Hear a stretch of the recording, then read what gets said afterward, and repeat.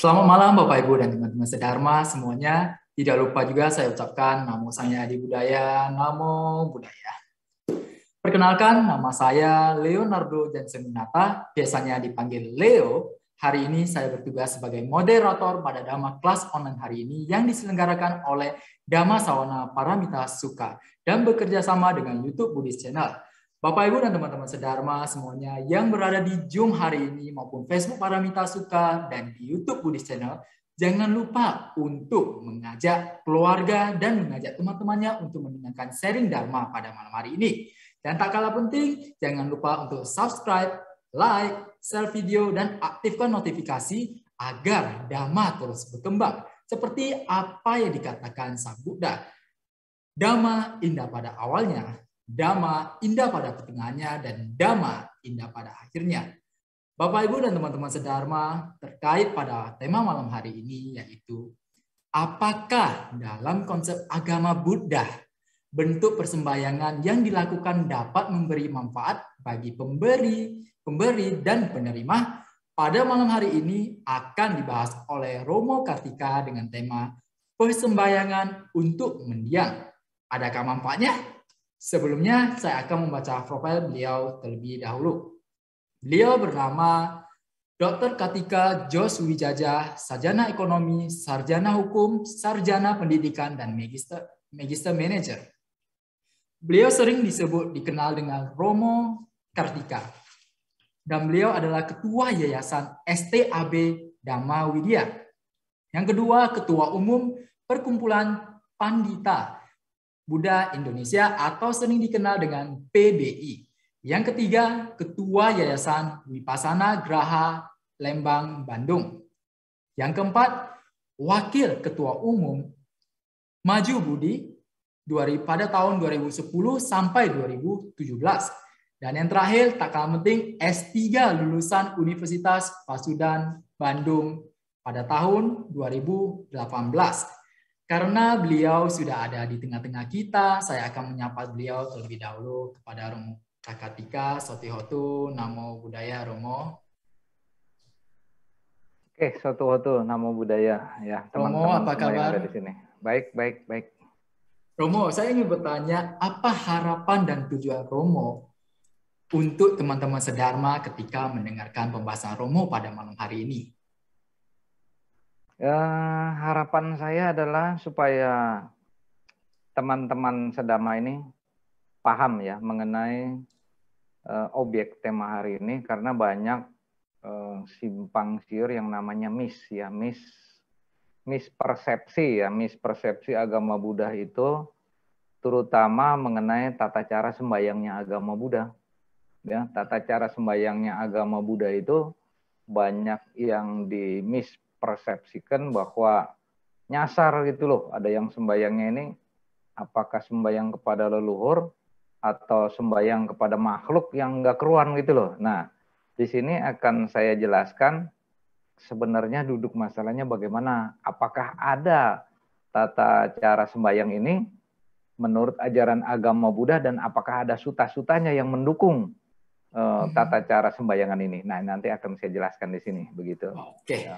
Luar biasa Romo. Baik Bapak Ibu dan teman-teman sedharma semuanya marilah kita mempersiapkan batin dan jasmani kita untuk mendengarkan pemaparan materi dari narasumber kita kepada Romo Kartika. Saya persilakan.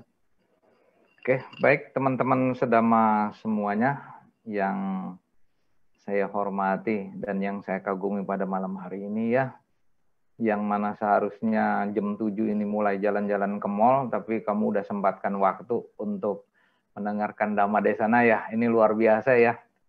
Yang ada di sini tentu paling enggak punya tiket alam surga nih kalau orang bilang nih. Kalau agama Buddha bilang alam dewa dewi nih ya. Tiketnya udah dipegang dulu. Cuma yang sobeknya belum belum nyampe karena jam loong masih jauh kan gitu. Megang tiket dulu aja lah. Itu jangan disobek dulu. Kalau udah disobek kamu dipanggil. Gitu. Ya, jadi teman-teman sedama semuanya namo budaya. Ya, kita mulai ya coba tapi untuk pembukaannya kita harus punya sapa sopan santun kepada guru agung kita yang maha sempurna ya untuk untuk menghormat beliau ya coba kita rangkapkan kedua tangan ya biasa ya untuk menghormat kepada guru agung kita yang maha sempurna Buddha Gotama Namo tassa bhagavato arahato sama sambuddhasa. Namo tassa bhagavato arahato sama sambuddhasa. Namo tassa bhagavato arahato sama sambuddhasa. Asewana cak balanang panditanang casewana puja ca puja nianang hitam manggala mutamang. Danang dadan tu sadaya silang rakan tu sabada Nabi rata huntu gacantu dewa tagata sabe buddha balapata pacekanan cayang walang arahan tanancak tejana rakang bandami sapaso sadu sadu sadu ya adik-adik sedama semuanya namo budaya ya. Ini mudah-mudahan hari ini bisa bermanfaat seperti yang awal saya bilang. Banyak miss ya miss persepsi ya uh, mengenai agama Buddha, terutama yang menyangkut masalah klenak-klenik yang sifatnya tidak ada di dalam buku, tetapi dengan tata cara. Sebenarnya uh, di antaranya agama Buddha itu kenapa uh, sembayang-sembayang kepada leluhur? Itu beneran apa enggak itu loh dimakan apa enggak itu loh kan kalau sembayang itu kan di atas meja ada makanan mesti ngelihat ada yang makan kan gitu kan. Kalau ada yang makan kan kelihatan bahwa acara ini benar-benar nyata, benar-benar terlihat. Tapi kalau ini kan sembayangan-sembayangan udah makanannya banyak, enak-enak, mahal-mahal, nggak ada yang mahal makan ini kan mubazir gitu kan. Tetapi di ajaran agama Buddha ada apa enggak itu loh. Beneran apa enggak? Apakah ada sutanya sang Buddha mengeluarkan tata cara seperti itu gitu. Nah, saya yang kedua, agama Buddha itu kan dibilangnya memuja memuja berhala, memuja patung. Beneran apa enggak itu patung itu bisa diajak ngomong? Beneran enggak patung itu kalau dipuja-puja itu ada manfaatnya? Itu. Nah, itu pertanyaan-pertanyaan yang terhadap ke agama Buddha itu ya. Kemudian yang berikutnya vegetarian. Apakah agama Buddha itu vegetarian itu menyebabkan orang suci di agama Buddha? Nah, Romo, ini yang kayak begini nih yang bikin pusing nih katanya. Kalau semuanya benar, simpel dong agama Buddha. Ya. Mau jadi suci, vegetarian aja beres sudah. Kemudian kalau mau mengenal mengenal alam-alam yang lain, ngapain sembahyang leluhur, sembahyang setan nggak ada gunanya kan gitu. Nah, nah ini akan saya jelaskan bahwa sembahyang-sembahyang kepada leluhur itu uh, ada gunanya, ada manfaatnya, dan juga ada suta-sutanya di dalam ajaran agama Buddha. Sang Buddha sendiri pun mengajarkan itu. Nah, kemudian manfaatnya apa, Romo? Manfaatnya ada kedua belah pihak. Yang pertama, di dalam suta agama Buddha itu ada yang menyatakan bahwa eh, makhluk-makhluk peta yang disembayangin itu memang dia butuh makan. Ada yang butuh makan, ya nanti saya uraikan singkatnya dulu. Kemudian apa manfaatnya untuk mereka? juga yang bagi makhluk peta yang tidak bisa makan, kita bisa memberikan satu pelimpahan jasa untuk mereka supaya mereka juga merasakan batinnya senang kalau dengan adanya perbuatan baik yang kita perbuat. Kemudian apakah sampai Romo kedua belah pihak? Dua-duanya akan sampai nanti ya. Kita akan kupas dulu sebelum kita bahas seperti itu. Eh, kita akan bahas latar belakang yang namanya sembayang-sembayang kepada para leluhur itu intinya tuh apa sih di belakangnya gitu loh. Di belakangnya itu leluhur itu siapa? Leluhur-leluhur itu adalah orang tua kita sendiri, orang tua kita sendiri atau eh, keluarga-keluarga uh, kita yang telah meninggal dunia. Itu yang disebut namanya leluhur ya. Kalau keluarga yang masih hidup itu yang nggak disembayangin itu mendingan ajak ke restoran aja kita ajak makan beres kan gitu kan. Suruh pilih makanan yang enak-enak cuman jangan yang mahal-mahal kita suruhnya gitu ya. Nah, itu sesajennya jelas Nah, tapi apa apa yang menyebabkan kita bisa sembahyang kepada leluhur kita ini supaya dia bisa makan kan nggak kelihatan. Nah, kita buka sekarang satu-satu. Awalnya siapa sih sebenarnya leluhur kita itu ya? Uh, coba powerpointnya kita ini kebaca nggak? Kelihatan nggak ini? Halo? Belum, Romo. Bentar, bentar. Halo. Zoom-nya kamu mana nih? Oke, ini dia. Oke, chat. Ini, ini, ini. PowerPoint share. Oke. Kelihatan nggak? Kelihatan. Oke ya. Sekarang di sini. Mengapa orang Buddha sembahyang kepada leluhur dan kepada orang tua yang sudah meninggal dunia? Kalau kita lihat sorga di mana? surga? Halo, surga di mana surga? Surga di telapak kaki ibu. Oke, kita lihat ini surga di telapak kaki ibu. Tuh ya, kelihatan nggak gambarannya? Telapak kaki ibu tuh yang gede sebelah kiri, ya. Nah, ini surga di telapak kaki ibu. Sekarang yang saya tanya, surga di telapak kaki ibu itu adalah si ibu ini dulunya sebagai siapa? Ibu ini adalah dulu yang menolong kita pertama kali kita lapar. Ya. Pertama kali kita lapar di dunia, yang nolong kita, yang menyelamatkan kita adalah ibu. Ibu kita menyelamat kita, memberi makan ke kita, dan yang kita nangis, nangis, nangis, nangis kelaparan ibu yang memberi makan kita melalui apa? ASI air susu ibu. Romo air susu ibu itu apa sih sebenarnya? Itu adalah darahnya ibu sendiri yang diberikan kepada kita. Ya. Kemudian berikutnya, ini kita lihat. Nasihat Seorang ibu sanggup memelihara 10 orang anak. Namun 10 orang anak belum tentu sanggup memelihara seorang ibu cucu-cucu onlineku, sayangilah orang tuamu selagi kamu masih bisa memelihara. Ya, kelihatan nggak adik-adik? Halo? Ya, taruh Ah, karena karena saya nggak ngeliat ke kamu nih. Coba kalau kalau itu kadang saya tanya ya takut gambarnya ini nggak nggak nggak masuk gitu ya. Oke, gambarnya masuk ya. Ini masuk. pesan dari emak nih. Emak kita tuh yang dari TikTok tuh. Saya kebetulan mau ceramah dapat itu ya filmnya dari TikTok itu tuh saya masukin ya. Artinya apa adik-adik semuanya? Yang namanya leluhur itu isinya orang tua kita itu. Nah, orang tua kita itu yang membesarkan kita, yang merawat kita, ya. Jadi apa pun masalahnya orang tua kita itu kita anggap sebagai Buddha ke satu, Buddha pertama, ya. Nah, sekarang saya tanya adik-adik semuanya. Nih, kata mak, cucu-cucuku ini sekarang udah jadi orang hebat ya. Nanti begitu pas maknya kamu udah tua, anaknya itu jadi pejabat, jadi presiden, jadi biku. Ah, sekarang yang jadi biku. Anaknya ini ada yang jadi biku Mahatera, Mahatera. Kalau udah jadi biku Mahatera, anaknya ini terhadap orang tua bagaimana? Apakah orang tuanya hormat kepada biku yang udah jadi Mahatera atau biku yang jadi Mahatera hormat ke orang tuanya? Ayo. Ayo tebak-tebakan. Biku yang jadi Mahatera menghormati emaknya karena ah. sudah melahirkan. Ah, itu yang paling bagus, benar. Jadi ini dia, biku yang udah jadi Mahatera tetap harus hormat kepada orang tuanya. Karena kenapa? Uh, biku ini tidak akan jadi biku atau tidak akan jadi manusia kalau tidak ada orang tuanya, ya. Maka daripada itu, biku ini harus menghormat kepada orang tuanya sebagai wujud Buddha pertama ya. Sekarang saya setel film nih ya. Film lama tapi untuk bakti terhadap orang tua ya.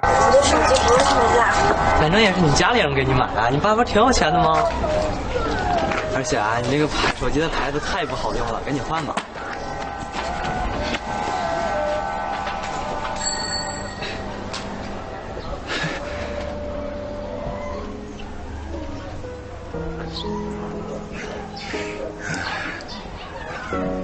想朋友？你的瓶子还要吗？我都不要了，给您吧，走吧。走吧，走吧。特别火的那个 DX，你知道吧？玩了吗？玩了，昨天晚上玩的呀。我觉得是挺好玩的，但是特别难玩啊？对。那第三关是什么？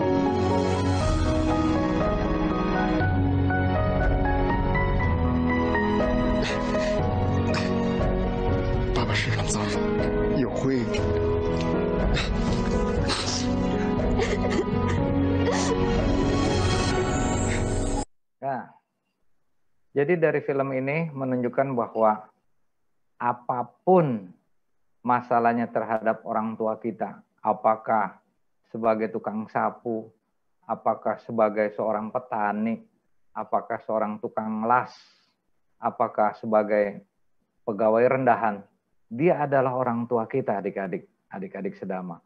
Kita harus menghargai orang tua karena apa? Apa pun yang dikerjakan orang tua seperti itu adalah untuk membesarkan kita, untuk menghidupi kita. Jadi dia adalah tulang punggung daripada keluarga.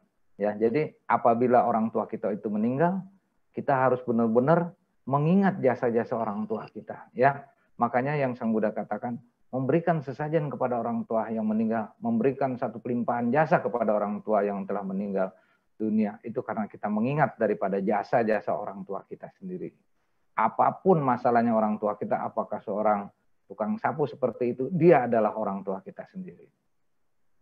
Oke, sekarang adik-adik kita akan lihat inilah sutanya yang ada di dalam persembahan-persembahan terhadap orang tua kita. Di dalam Sigalo ada suta ada lima cara seorang anak memperlakukan orang tua. Ya, adik-adik. Ada lima cara seorang anak memperlakukan orang tua. Apa Romo isinya? Yang pertama adalah Dahulu aku dibesarkan oleh orang tua, sekarang aku akan menunjang orang tua. Ya. Artinya apa Romo? Dahulu aku dibesarkan oleh orang tua. Kita itu dulu kita masih kecil, ya adik-adik sedama. Kamu masih kecil, masih bayi, ya masih belum bisa apa-apa. Yang membesarkan kamu siapa? Orang tua.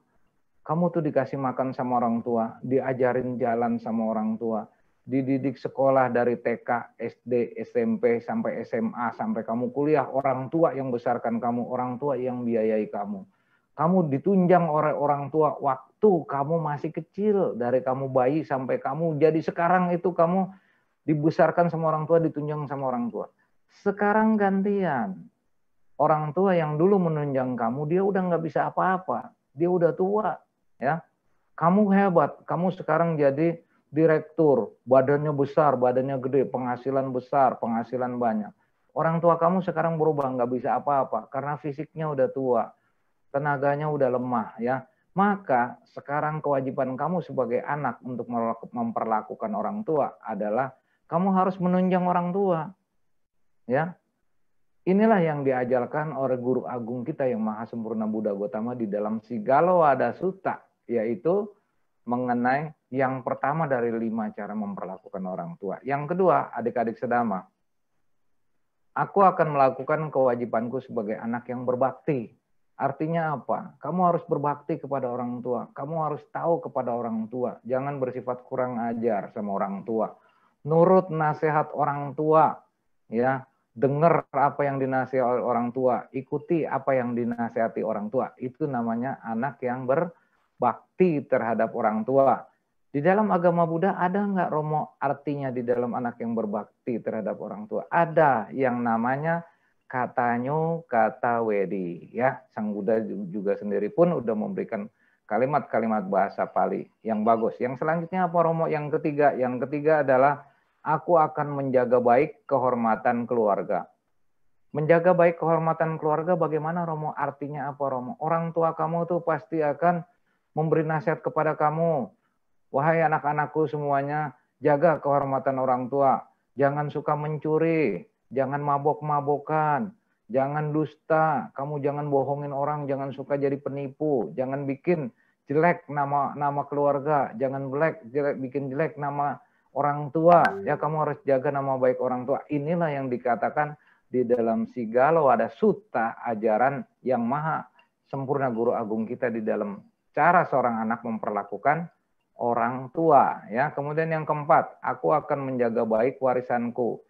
Apa artinya Romo menjaga baik warisanku? Begini adik-adik ya.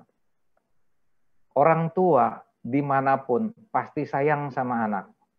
Ya, orang tua tuh sayang sama anak. Maka orang tua itu akan ngumpulin uang. Orang tua itu akan nabung. Nabung apa? Dia beli rumah kecil, kemudian akhirnya di rumahnya jadi besar. Kemudian dia beli tanah, semuanya akan diwariskan untuk kamu.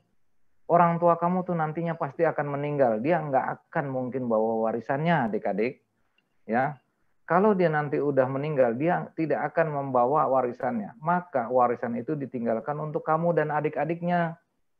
Artinya apa menjaga baik warisanku? Jangan berantem, jangan bertengkar karena warisan orang tua. Banyak di dunia ini orang yang bertengkar, yang berantem, musuhan, bahkan perang terhadap keluarganya, terhadap adik-adiknya cuma karena warisan. Maka orang tua di sini katakan, jagalah baik warisanku.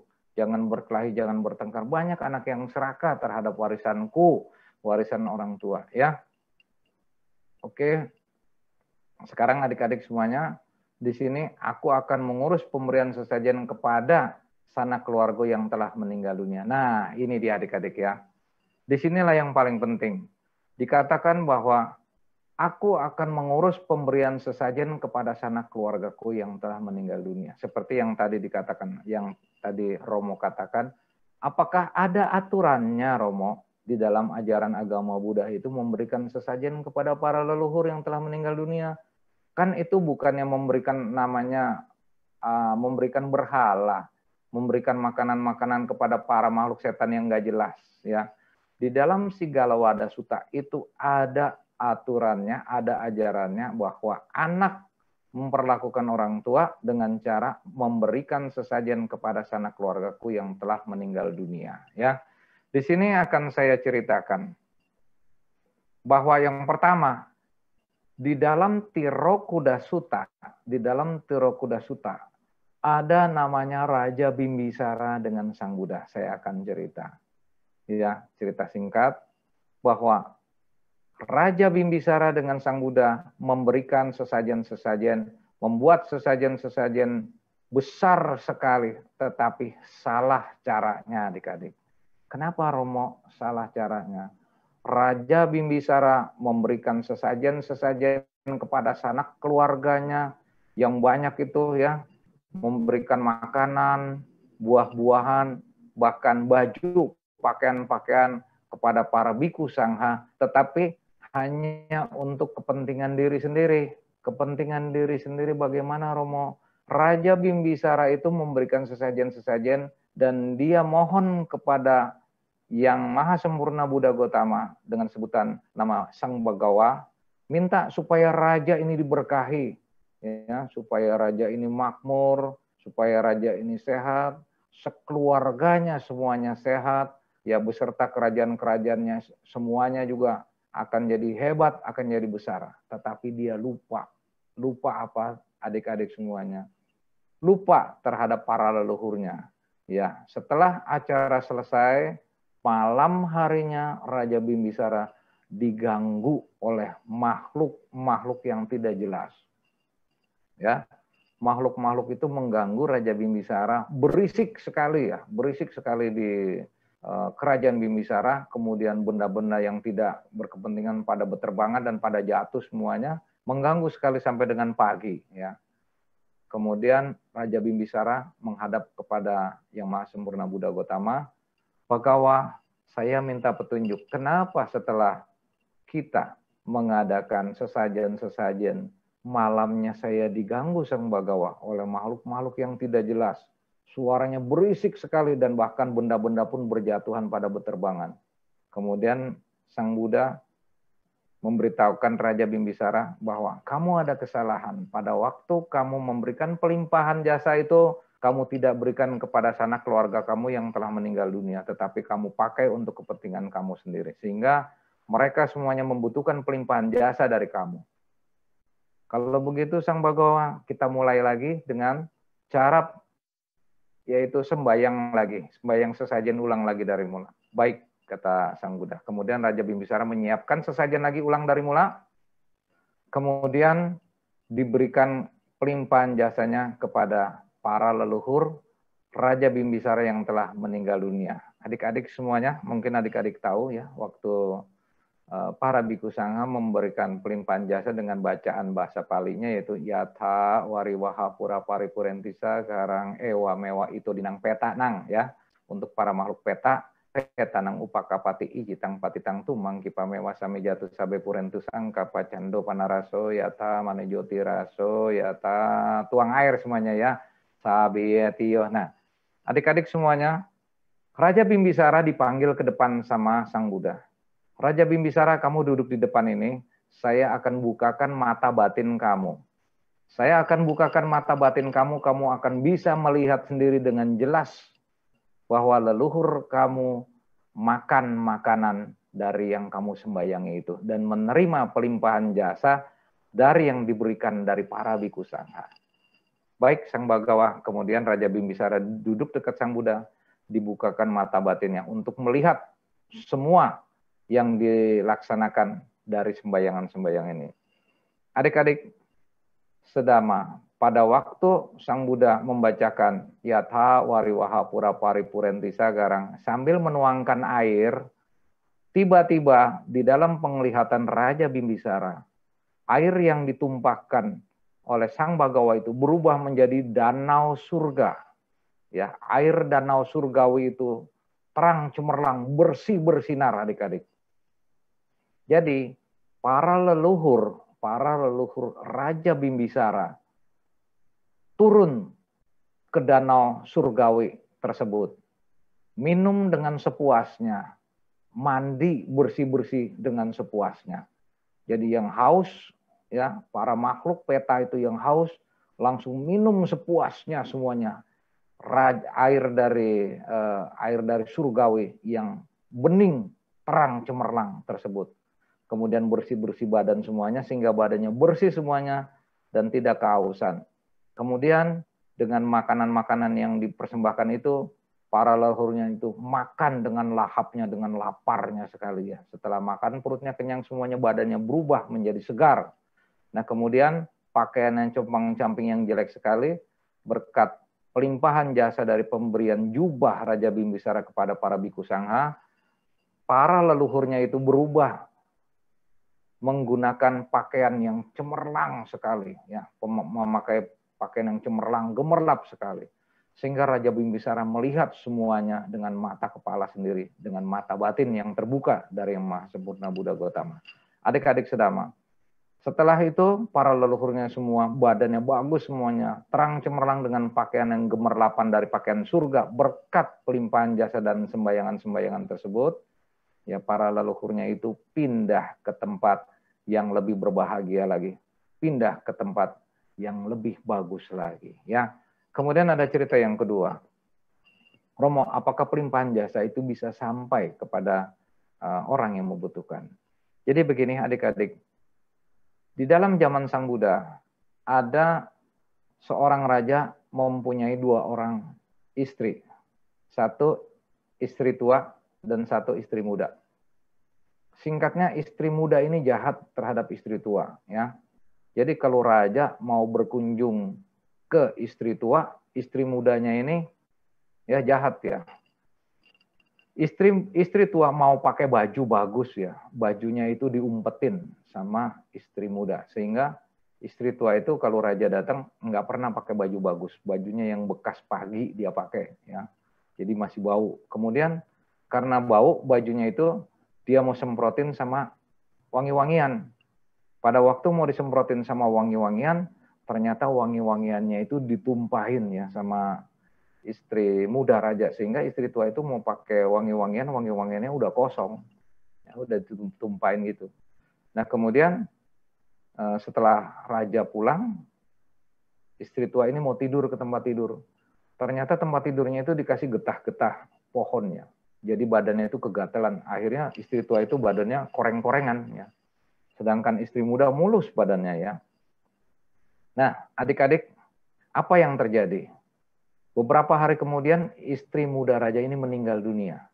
Pada pada saat istri raja meninggal dunia, tiga hari kemudian istri muda raja ini menjadi makhluk peta yang sangat menderita sekali. Ya, makhluk peta yang telanjang, kurus kering, ya kurus kering sekali ya, ya dan bau sekali dari ujung kepala sampai ujung kaki, bau sekali. Badannya itu koreng-korengan luka-luka ya, mengerikan sekali ya kalau bentuk wujudnya dilihat ya. Kemudian makhluk peta ini mendatangi istri tua raja. Kemudian dia namaskara, sujud, dan minta tolong. Istri tua raja bingung. Makhluk apakah kamu? Kenapa kamu kurus kering begini, kemudian telanjang dan bau sekali, serta badannya korengan gini. Kemudian dia nangis, dia bilang, saya adalah dulu istri muda raja yang pernah hidup bersama dengan kamu. Kenapa kamu sekarang bisa seperti ini? Kenapa kamu bisa telanjang seperti ini? Karena dulu yang ngumpetin baju kamu mau ketemu raja adalah saya. Saya suruh dayang-dayang saya. Kenapa kamu bisa bau begini badannya? Karena dulu minyak wangi kamu saya yang tumpahin. Kenapa kamu badannya pada korengan seperti ini? Karena tempat tidur kamu dulu yang saya kasih getah-getah sehingga kamu korengan. Wah, katanya. Kenapa kamu sekarang mau apa? Saya mau minta pelimpahan jasa. Bagaimana caranya saya bisa nolong kamu? Caranya adalah kumpulkan semua orang, beri makan, kemudian kumpulkan semua para biku sangha, kasih dana makanan dan dana jubah. Nah ini pas ya, nanti Katina kamu ini pas nih dana jubah nih untuk nolong para keluarga kamu ya, adik-adik ya. Nah kemudian, apakah bisa saya menolong kamu? Gitu. Baik, nah, saya akan laksanakan. Tiga hari kemudian istri tua raja melaksanakan apa yang diminta dari makhluk peta tadi. Setelah diberikan makan dana makan biku sangha, kemudian diberikan jubah, kemudian biku sangha membacakan pelimpahan jasa. Nah, pada waktu pelimpahan jasa itu, pelimpahan jasanya diberikanlah kepada istri muda raja, ya adik-adik ya. Apa yang terjadi? Tiga hari kemudian terbanglah seorang dewi yang cantik julita dengan pakaian indah semerbak, wangi yang yang yang tiada tarahnya ya. Wanginya itu dari tempat kamu tuh dari Tangerang sampai ke Cikampek itu tuh wanginya tuh ya. Karena wangi wangi wangi permaisuri eh, wangi wangi bidadari itu wangi sekali ya. Nah, ditanya, "Siapakah kamu wahai bidadari?" Saya adalah istri muda, eh, saya adalah makhluk peta yang beberapa hari yang lalu yang datang kepada kamu yang sudah diberikan pelimpahan jasa. Ya, adik-adik. Jadi sampai ya semuanya adik-adik ya. Ini Cika kedengeran Cika? sama yang lain? Kedengeran Romo. Oke lanjut. Nah sekarang saya akan lihat dulu. Uh, kita akan coba bahas apakah ada di dalam 31 alam kehidupan itu salah satu makhluk-makhluk daripada yang akan kita selamatkan ya. Kita lihat bumi, bumi ini ada 31 ya. Kalau bumi yang bulat itu satu, sekarang bumi yang 31 ini artinya 31 alam kehidupan. Di dalam 31 alam kehidupan ini ada yang namanya apa ya bumi empat alam sengsara ya adik-adik ya empat alam sengsara ini yang alam neraka alam binatang alam peta atau alam setan kemudian alam masura adik-adik sedama kalau para leluhur kita yang kita mau tolong di alam neraka dia itu nggak bisa.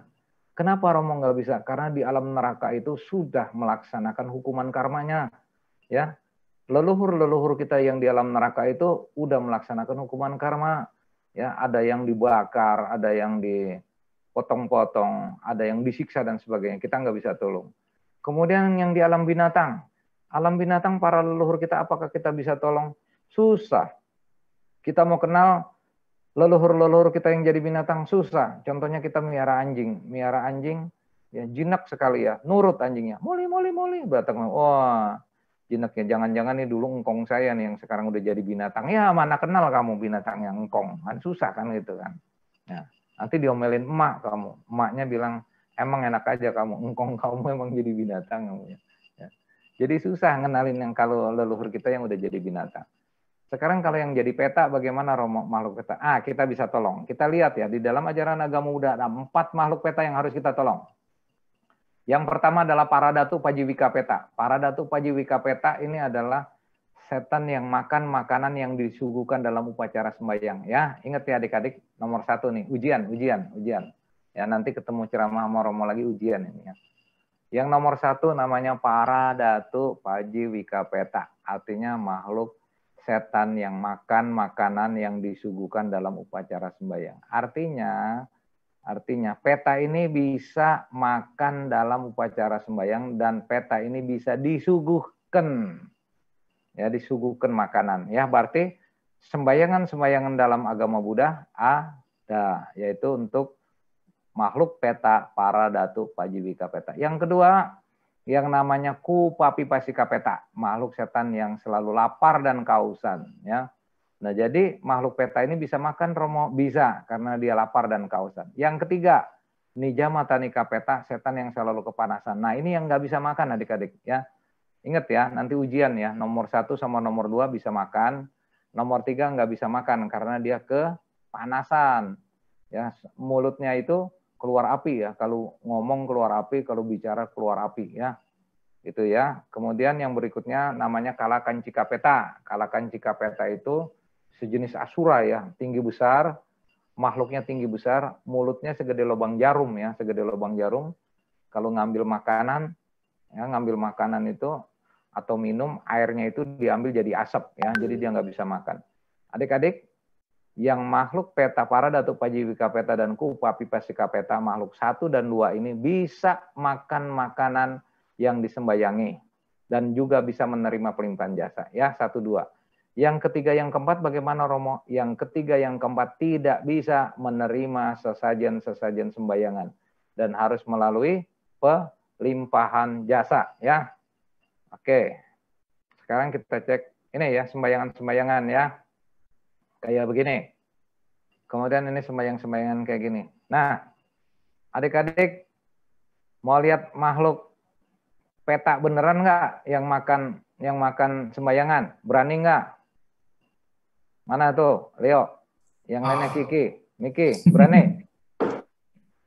Ini ada di sini nih, ntar jelas nih kelihatan nih, jangan takut ya. Kalau umat Buddha nggak usah takut ya. Jadi dia ini benar-beneran makan ya, ditangkap kameranya itu apa dipasang kamera ya supaya uh, jelas makhluknya ya, supaya kelihatan ya. Oke, nonton ya ini. Oh, lihat no, ayo, itu itu. Oh.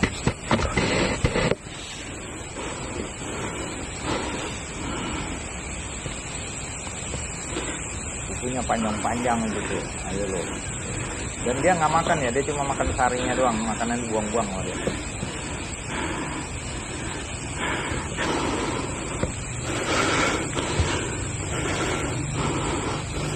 Pian yang semalam kan Deto? Enak nggak makanannya katanya?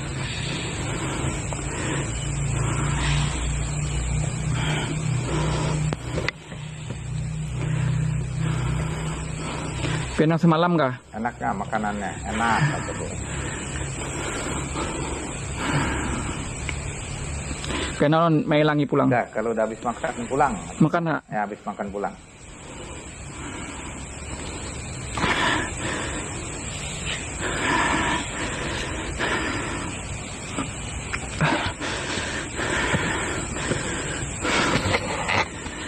Pian nyamai ringi ulun lah.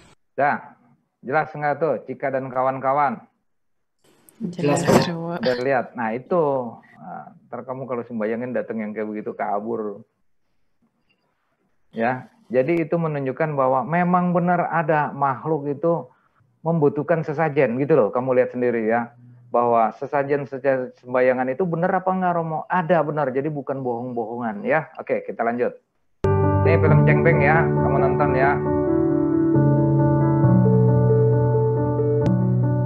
Chengbeng, yang juga dikenal dengan istilah Qingming, adalah sebuah kegiatan siara makam untuk menghormati arwah leluhur yang dilaksanakan setiap tanggal 4 atau 5 April setiap tahunnya.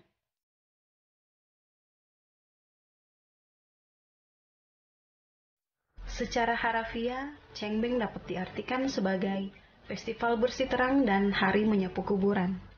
Sembayang Cengbeng biasanya dilakukan pada pagi hari di makam orang tua atau leluhur.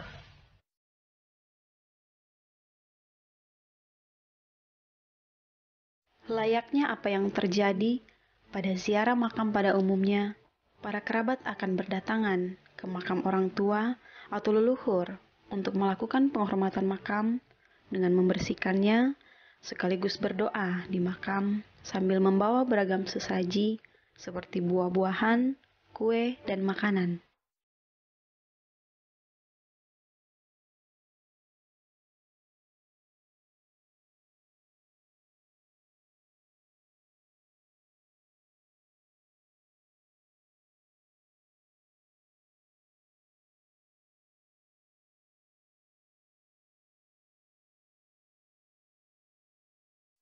Dengan sembahyang cengbing ini, semua kerabat keluarga, saudara, dan anak-anak bisa berkumpul bersama sehingga hubungan tali silaturahmi semakin erat terjalin.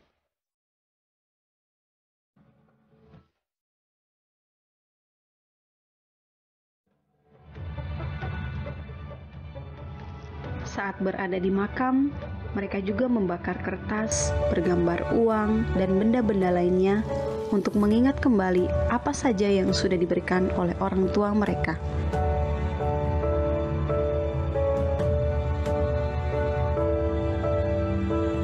Mereka akan meletakkan kertas lima warna sebagai penanda kalau mereka sudah selesai membersihkan makam dan menaburkan bunga.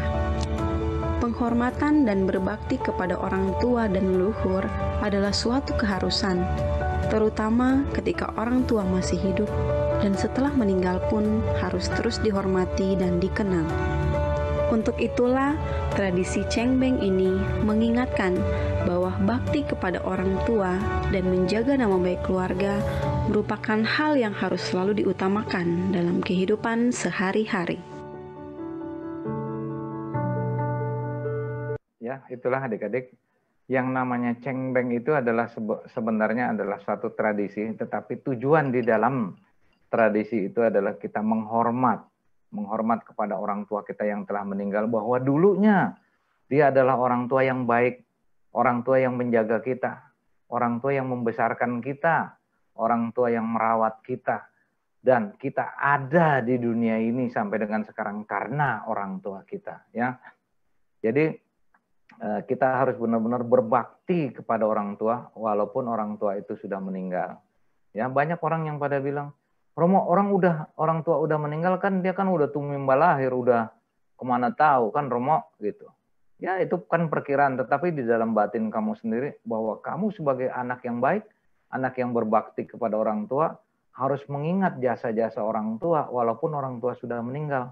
Ya, itu namanya anak yang berbakti atau anak yang dikatakan tidak lupa dengan ya tidak lupa dengan kebaikan orang tua dan tidak lupa dengan jasa-jasa orang tua yang dulu merawat kita dari kecil sampai dengan kita sekarang ya. Oke. Ini yang kalau lihat di Ulambana yang tadi nah tes ujiannya. Ini makhluk peta yang keberapa? Ayo, satu dua tiga, cepat yang bisa jawab Tiga, Wah. Siapa tuh tadi yang barusan jawab itu? Saya Romo Leo. Aduh, Leo, berarti kamu nyimak ya. Leo, bagus ya. Leo dapat sepeda ya besok ambil sama Pak Jokowi ya. Ini namanya makhluk nijama tanika peta, yaitu makhluk peta yang keluar api. Ini terjadi adik-adik, itu ibunya, ibunya yang yang mulia Bante Mogalana. Yang sebelah kanan itu Bante Mogalana ya. Ibunya itu jadi makhluk nijama tanika peta. Nah kemudian Bante Mogalana mau nolong ibunya bagaimana? Mau kasih makan itu makanannya angus. Ya baru dikasih angus itu. Jadi arang karena kenapa? Panasnya itu di atas 2000 derajat ya. Kalau kita 100 derajat aja ayam udah matang. Ini 2000 derajat lebih itu panasnya itu ribuan derajat. Jadi kelihatannya sepele gitu, tapi kalau pas dipegang langsung angus gitu, langsung hitam semuanya. Kemudian Bante Mogalana ini nggak pernah bisa memberikan makanan kepada ibunya Kemudian Bante Mogalana menghadap kepada Sang Buddha minta petunjuk. Bante Mogalana, ibu kamu tidak akan bisa menerima makanan langsung. Harus diberikan pelimpahan jasa dengan cara makanan yang akan kamu berikan kepada orang tua kamu itu diberikan kepada biku yang lain supaya uh, biku yang menerima itu memberikan pelimpahan jasa dan pelimpahan jasa itu kamu berikan untuk orang tua kamu gitu loh ya. Nah, akhirnya orang tuanya itu diberikan makanan uh, kepada biku yang lain dan diberikan pelimpahan jasa, orang tuanya itu berubah ya setelah menerima pelimpahan jasa berubah menjadi seorang dewi yang cantik jelita, tetapi tetap berada di alam peta ya. Ini tuh kayak gini tuh. Wah, sapinya. Ayo, malam-malam datang lo. Oke. Ini apa namanya? Sair ya, saya kasih sair ya, sair. Kalau sambil ada lagu, sambil ada suara romanya kedengeran apa enggak jika kalian Leo? Kedengeran ya, saya kasih bantu Agak saya. kenceng dikit aja Romo ngomongnya. Agak kenceng dikit aja Romo ngomongnya. Oh, kurang kenceng ya romanya ya. Iya. Oke. Jadi orang tua kamu tangannya kotor ya, tangannya luka ini karena me- bekerja keras untuk kamu ya. Kamu harus tenang semuanya ini.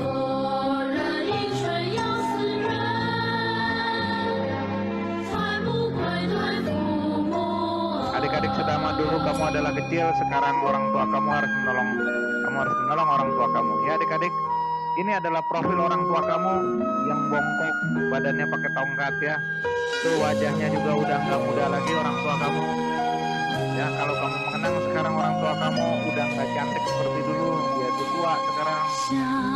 Dan kemudian seekor seekor kambing kalau dia mau nyusu pun harus sujud ya harus sujud baru bisa ya kamu pun juga harus sujud sama orang tua nantinya kalau udah udah besar ya renungkan baik-baik ya di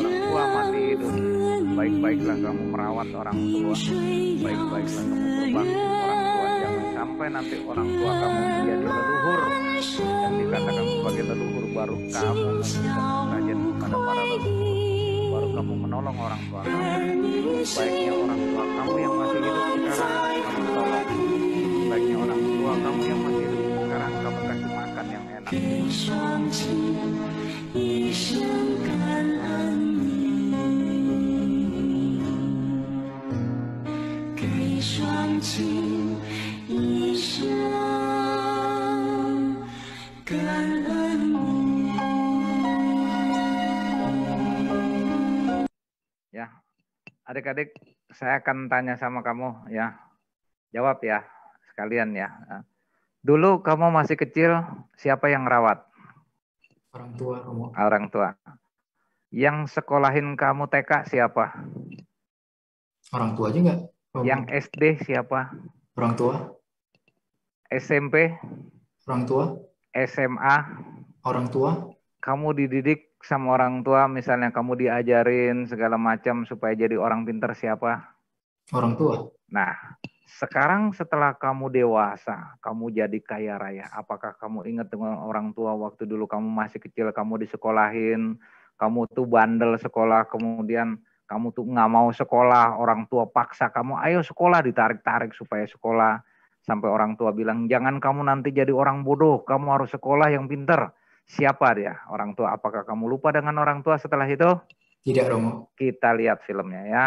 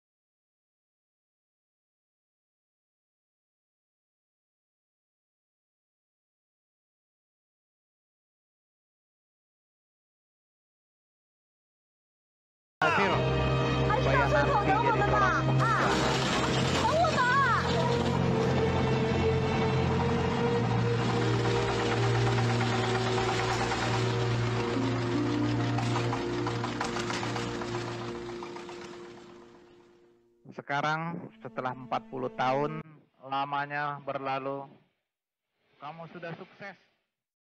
Kamu menjadi seorang pengusaha. Kamu punya mobil mewah. Kamu punya rumah besar. Kamu lupa sama mama.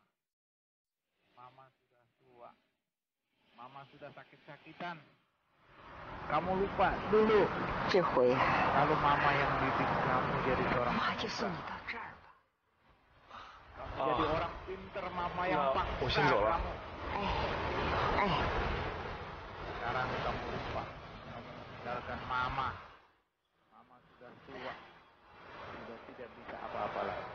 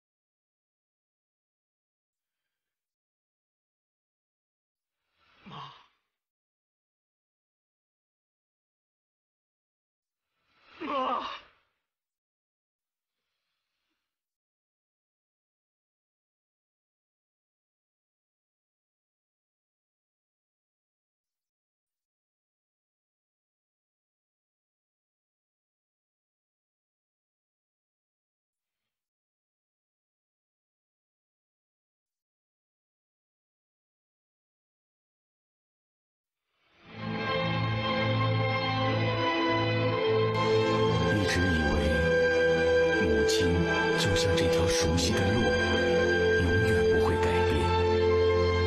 那一刻，我才发现，母亲已经一天天老去，而我是母亲最终的依靠。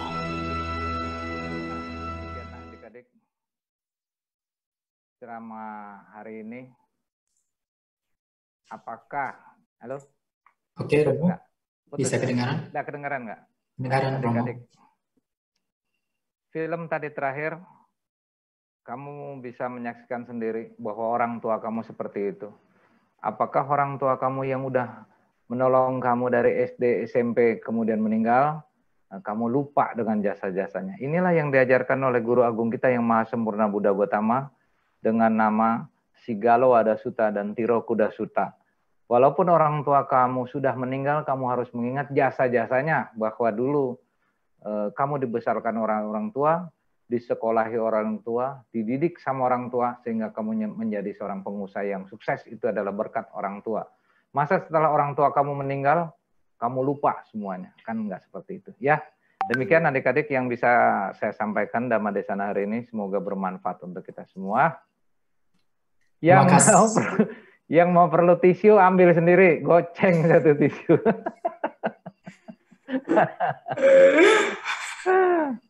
Ya, Ya, itu yang bisa saya sampaikan. Semoga bisa bermanfaat. Kita harus ingat bahwa dulunya kita punya orang tua dan kita jangan lupa juga terhadap leluhur kita yang telah memandu kita. Ya, baik. Sabe sata bawantu sukitata. Semoga semua makhluk hidup berbahagia. Sekarang tanya jawab boleh ya. Oke, yang Romo. tadi udah nangis sudah lap dulu udah pakai tisunya.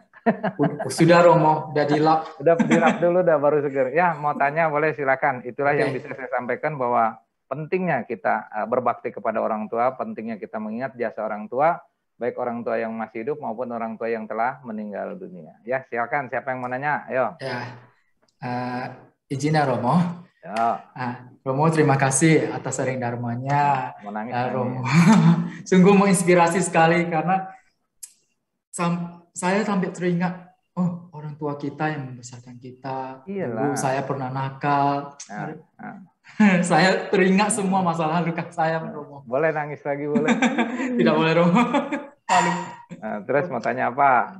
Baik, Romo. Nah, sebelum sesi tanya jawab, saya akan membacakan beberapa informasi terlebih dahulu ya, Romo. Izin Romo. Oke. Oke. Nah, baik Bapak Ibu dan teman-teman sedharma, kita sudah mendengarkan sharing Dharma dari Romo dan air mata pun sudah mengeluarkan sudah keluar ya Pak. Ya Bapak Ibu. Jadi hari ini sekedar informasi bahwasanya uh, di Yayasan Paramita Suka ada galda yaitu galan dana di pembangunan wihara. Ya galda yang pertama yaitu pembangunan wihara Lokapanya Sampurna Jawa Tengah yang dan peletakan batu pertama pada tanggal 21 November 2021. Ya, sisa beberapa hari lagi ya Bapak Ibu dan teman-teman sedharma dan lebih kurang sisa satu bulan lagi dan tersedia dua paket dana batu fosil seharga 2.888.000 dan yang kedua dana koin emas 588.000 per keping. Nah, Bapak Ibu dan teman-teman sedharma jangan lupa untuk kode transfer 55 dan dapatkan bros cantik paramita untuk setiap donasi batu fosil ataupun emas. Galda yang kedua yaitu Wihara Numbai Sampijaya. Tersedia paket 1250 rupang arahat dan harga satu rupang yaitu seharga 2.500 dan dapat dicicil secara berkala selama 5 bulan dan rupang dapat dijadikan sebagai sarana pelimpahan jasa seperti atas nama orang tua, atas nama siapa pun orang-orang yang kita cintai. Dan, dan maksimal tiga nama ya Bapak Ibu dan teman-teman sedharma. Untuk nama-nama tersebut bisa ke WA ke admin ke nomor ke 0812 8484 2800 dan Bapak Ibu jangan lupa untuk kode transfer 77. Next. Nah, ini adalah Galda yang ketiga, pembangunan Wihara Wipasana Giriratana yang berada di Gunung Sindur, Bogor. Saat ini data dana, maaf, dana yang dibutuhkan sebesar 159 juta 600 ribu rupiah. Bangunan baru ini nantinya akan difungsikan menjadi ruang serbaguna dan dapat digunakan sebagai tempat pemberkatan, sekolah minggu, dan belajar Dharma. Bagi yang ingin berdana, silakan ke rekening yayasan dengan kode transfer 22 dan nominal bebas ya Bapak Ibu. Sekecil apa pun yang penting hati kita ikhlas dan kita bisa mendedikasikan kepada orang-orang yang kita cintai. Yang keempat, Galda yang keempat, Gedung Pariyati Dhamma Gunung Sindur saat ini yang membutuhkan dana sebesar 50 juta Dana tersebut akan dialokasikan per, perbaikan ruang, ruang makan bersama di gedung Pariyati. Bagi yang ingin berdana, ya silakan ke rekening Yayasan Paramita Suka ke BCA 7611997 888 ke Sembi Niaga ke 70611355300. Jangan lupa untuk kode transfer 21. Next. Nah, ini adalah uh, Rupang yang Arya Bante Siwari. Setelah setelah penyerahan Rupang yang Arya Bante Siwali yang kedua, tempat meditasi yang di Tangerang, kini Yayasan Paramita Suka kembali hadir dalam pengadaan dua Rupang yang Arya Bante Siwari. Siapa ya yang Arya Bante Siwari tersebut? Bante Siwali adalah seorang biku yang dengan mudah selalu menerima pemberian berjumlah besar. Ia selalu memberikan apa yang dia miliki ke orang lain setelah sebelum dia menggunakannya dan ia tidak terbandingkan. Bapak Ibu dan teman-teman sedharma atau sahabat dharma semuanya juga bisa seperti Bante Siwari dengan berdana rupang nominal bebas dan jangan lupa kode transfer 37 Bapak Ibu untuk informasi lebih lanjut bisa kehubungi ke 0812 84 84 2800. Next. Ini adalah garda yang ke-6 Wihara Bodhicitta yang berada di desa Mantujam, Kalimantan Selatan, Bapak Ibu. Saat ini dana yang dibutuhkan sebesar 768 juta Rp750.000. Tersedia dua paket yaitu nominal bebas Bapak seberapa apa seberapapun nominal bebas Bapak Ibu. Yang kedua dana plakat 25 juta per nama bisa untuk nama dedikasi kepada keluarga kita, diri kita sendiri, ataupun semua makhluk agar berbahagia. Ya, mari membangun pembangunan wihara di daerah dengan cara berdonasi ke rekening Yayasan Parimata Suka. Untuk informasi lebih lanjut hubungi Ibu Mapping dan jangan lupa kode transfer 33. Next. Nah, ini yang tadi Romo bilang Katina pas untuk melimpahkan orang-orang yang kita cintai. Nah, ini eh, bagi Bapak Ibu yang ingin eh dan maaf uh, saya salah pos. Uh, bagi Bapak Ibu yang ingin berdana makan ke, kepada Biku Sangha, silakan dengan dana bebas ke 0812 84 88 2800. Jangan lupa Bapak Ibu kode transfer 06. Next. Bapak Ibu dan teman-teman sedharma bisa berpartisipasi dana ke Yayasan Paramita Suka ke BCA 761 1997 88 CMB Niaga 706 113 55 300 dengan kode transfer 11 untuk konfirmasi dana ke 0812 84 84 2800. Bapak Ibu dan teman-teman sedharma bisa scan barcode di depan layar Bapak Ibu. Saya ulangi sekali lagi ya Bapak Ibu untuk partisipasi dana atas nama Yayasan Paramita Suka ke BCA 7611997 888 ke CMB Niaga ke 70611355300 dengan kode transfer 11 untuk konfirmasi dana ke 0812 8484 2800. Saya mengutip Pak yang uh, saya mengutip uh, dari Yang Mulia Biku Sri Panyawaro Mahatera sering dikatakan oleh para bijaksana bahwa dengan memberi dan berdana ia laksana membuka pintu kebajikan yang akan memberi jalan bagi munculnya sifat-sifat baji yang lainnya. Jadi inilah ladang kebajikan kita untuk memunculkan sifat-sifat baji, kebahagiaan dan memunculkan bodhicitta Ya, Bapak Ibu dan teman-teman sedharma, untuk sesi tanya jawab ada dua cara, yaitu yang pertama dengan cara raise hand bagian di Zoom untuk bertanya secara langsung, jelas, singkat, dan padat. Yang kedua bisa melalui kolom chat via Zoom, Facebook Paramita Suka, dan YouTube Bude Channel. Untuk sesi tanya jawab, saya persilakan kepada Ci Laurencia Jessica. Silakan, Ci. Baik, terima kasih Leo. Ya. Selamat malam Bapak Ibu dan teman-teman sedama. Selamat malam Romo, Nama Budaya. Saya Jessica di sini akan memandu pertanyaan baik dari kolom chat di Zoom maupun di kolom chat di YouTube. Uh, baik untuk pertanyaan, saya bisa langsung bacakan ya Romo. Ada pertanyaan begini, no. Nama budaya Romo, Romo saya ingin bertanya, apakah ketika orang yang sudah meninggal 49 hari itu ada di agama Buddha atau hanya tradisi turun-menurun? Terima kasih Romo. Oke, saya jawab. 49 hari orang telah meninggal itu memang ada di dalam satu ajaran agama Buddha. Tetapi agama Buddha itu kan banyak ya, ada Theravada, Tantra, Mahayana, Tridharma, kemudian budayana dan sebagainya ya.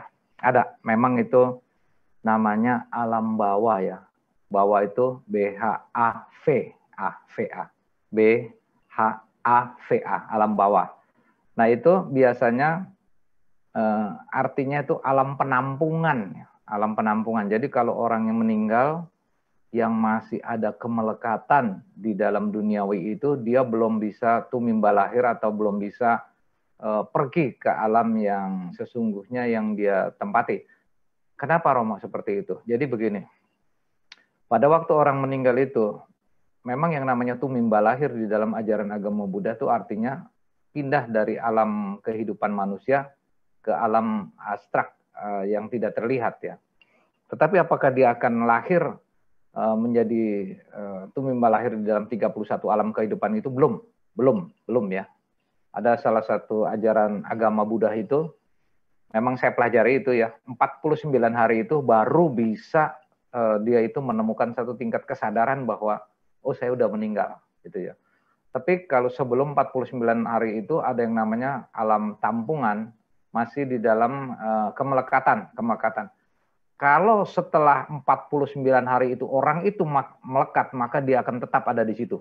Misalnya orang meninggal dia itu melekat sama hartanya ya di dalam ajaran agama Buddha dia melekat di dalam hartanya, dia akan bisa jadi seekor anjing di dalam rumah itu setelah setelah dia 49 hari atau setelah dia itu uh, tumimba lahir meninggal begitu dia sadar, oh saya ini punya harta. Nah, dia masuk langsung pindah ke jadi binatang yang ada di rumahnya itu. Atau ada salah satu biku ya dia melekat sama uh, jubah jubah jubah tong samcong dulu ya kejadian Eh, di zaman Tong Samcong itu. Sun Gokong nunjuk-nunjukin biku uh, jubahnya Tong Samcong itu. Ada satu seorang biku itu pengen memiliki jubah itu sampai melekat sampai dia kebakaran uh, apanya wiharanya kebakaran biku itu meninggal. Kemudian dia jadi kutu di dalam uh, jubahnya itu. Nah, kembali lagi ke alam 49 hari itu saya akan ambil contoh begini ya.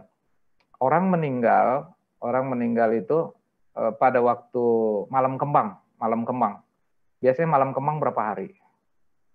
Malam kembang berapa hari? Ayo, nyalain. Satu hari.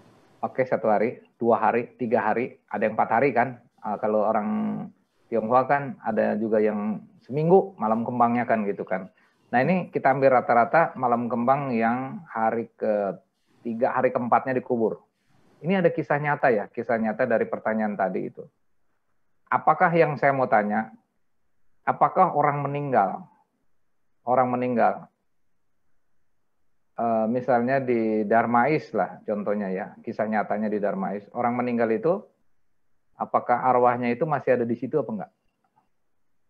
Ayo, tanya semuanya, coba nyalain merahnya, jawab.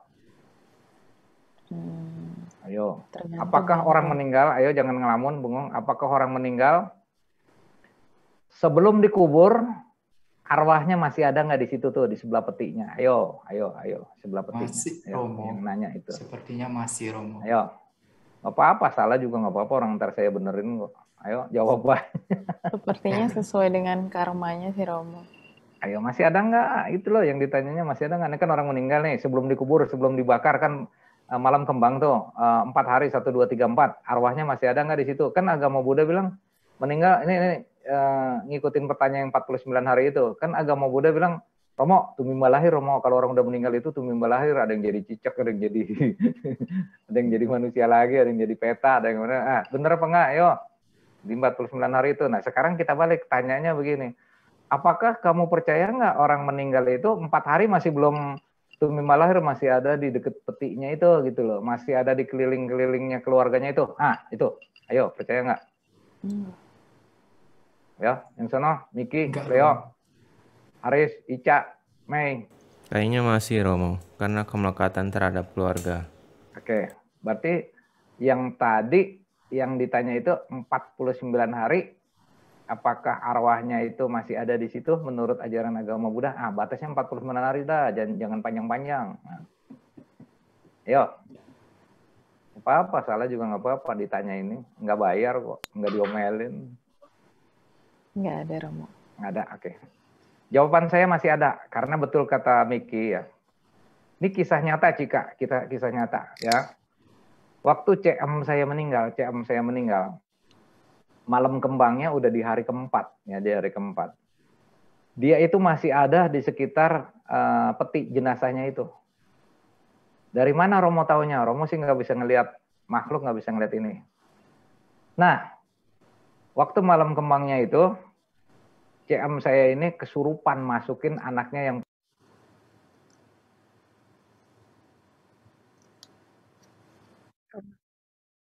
kepencet kayaknya Romo. Ke mute. Oke, dah, ke kedengeran nggak? Ulang lagi ya. Jadi si CM-nya ini meninggal uh, masuk ke Nini yang kesurupan itu, ya Nini kesurupan di malam kembang. Nah, setelah kesurupan nggak ada yang tahu. Nah, dia nggak percaya adanya kesurupan uh, eh, CM-nya itu. Dia bilang itu setan kata yang masuk ke Nini itu.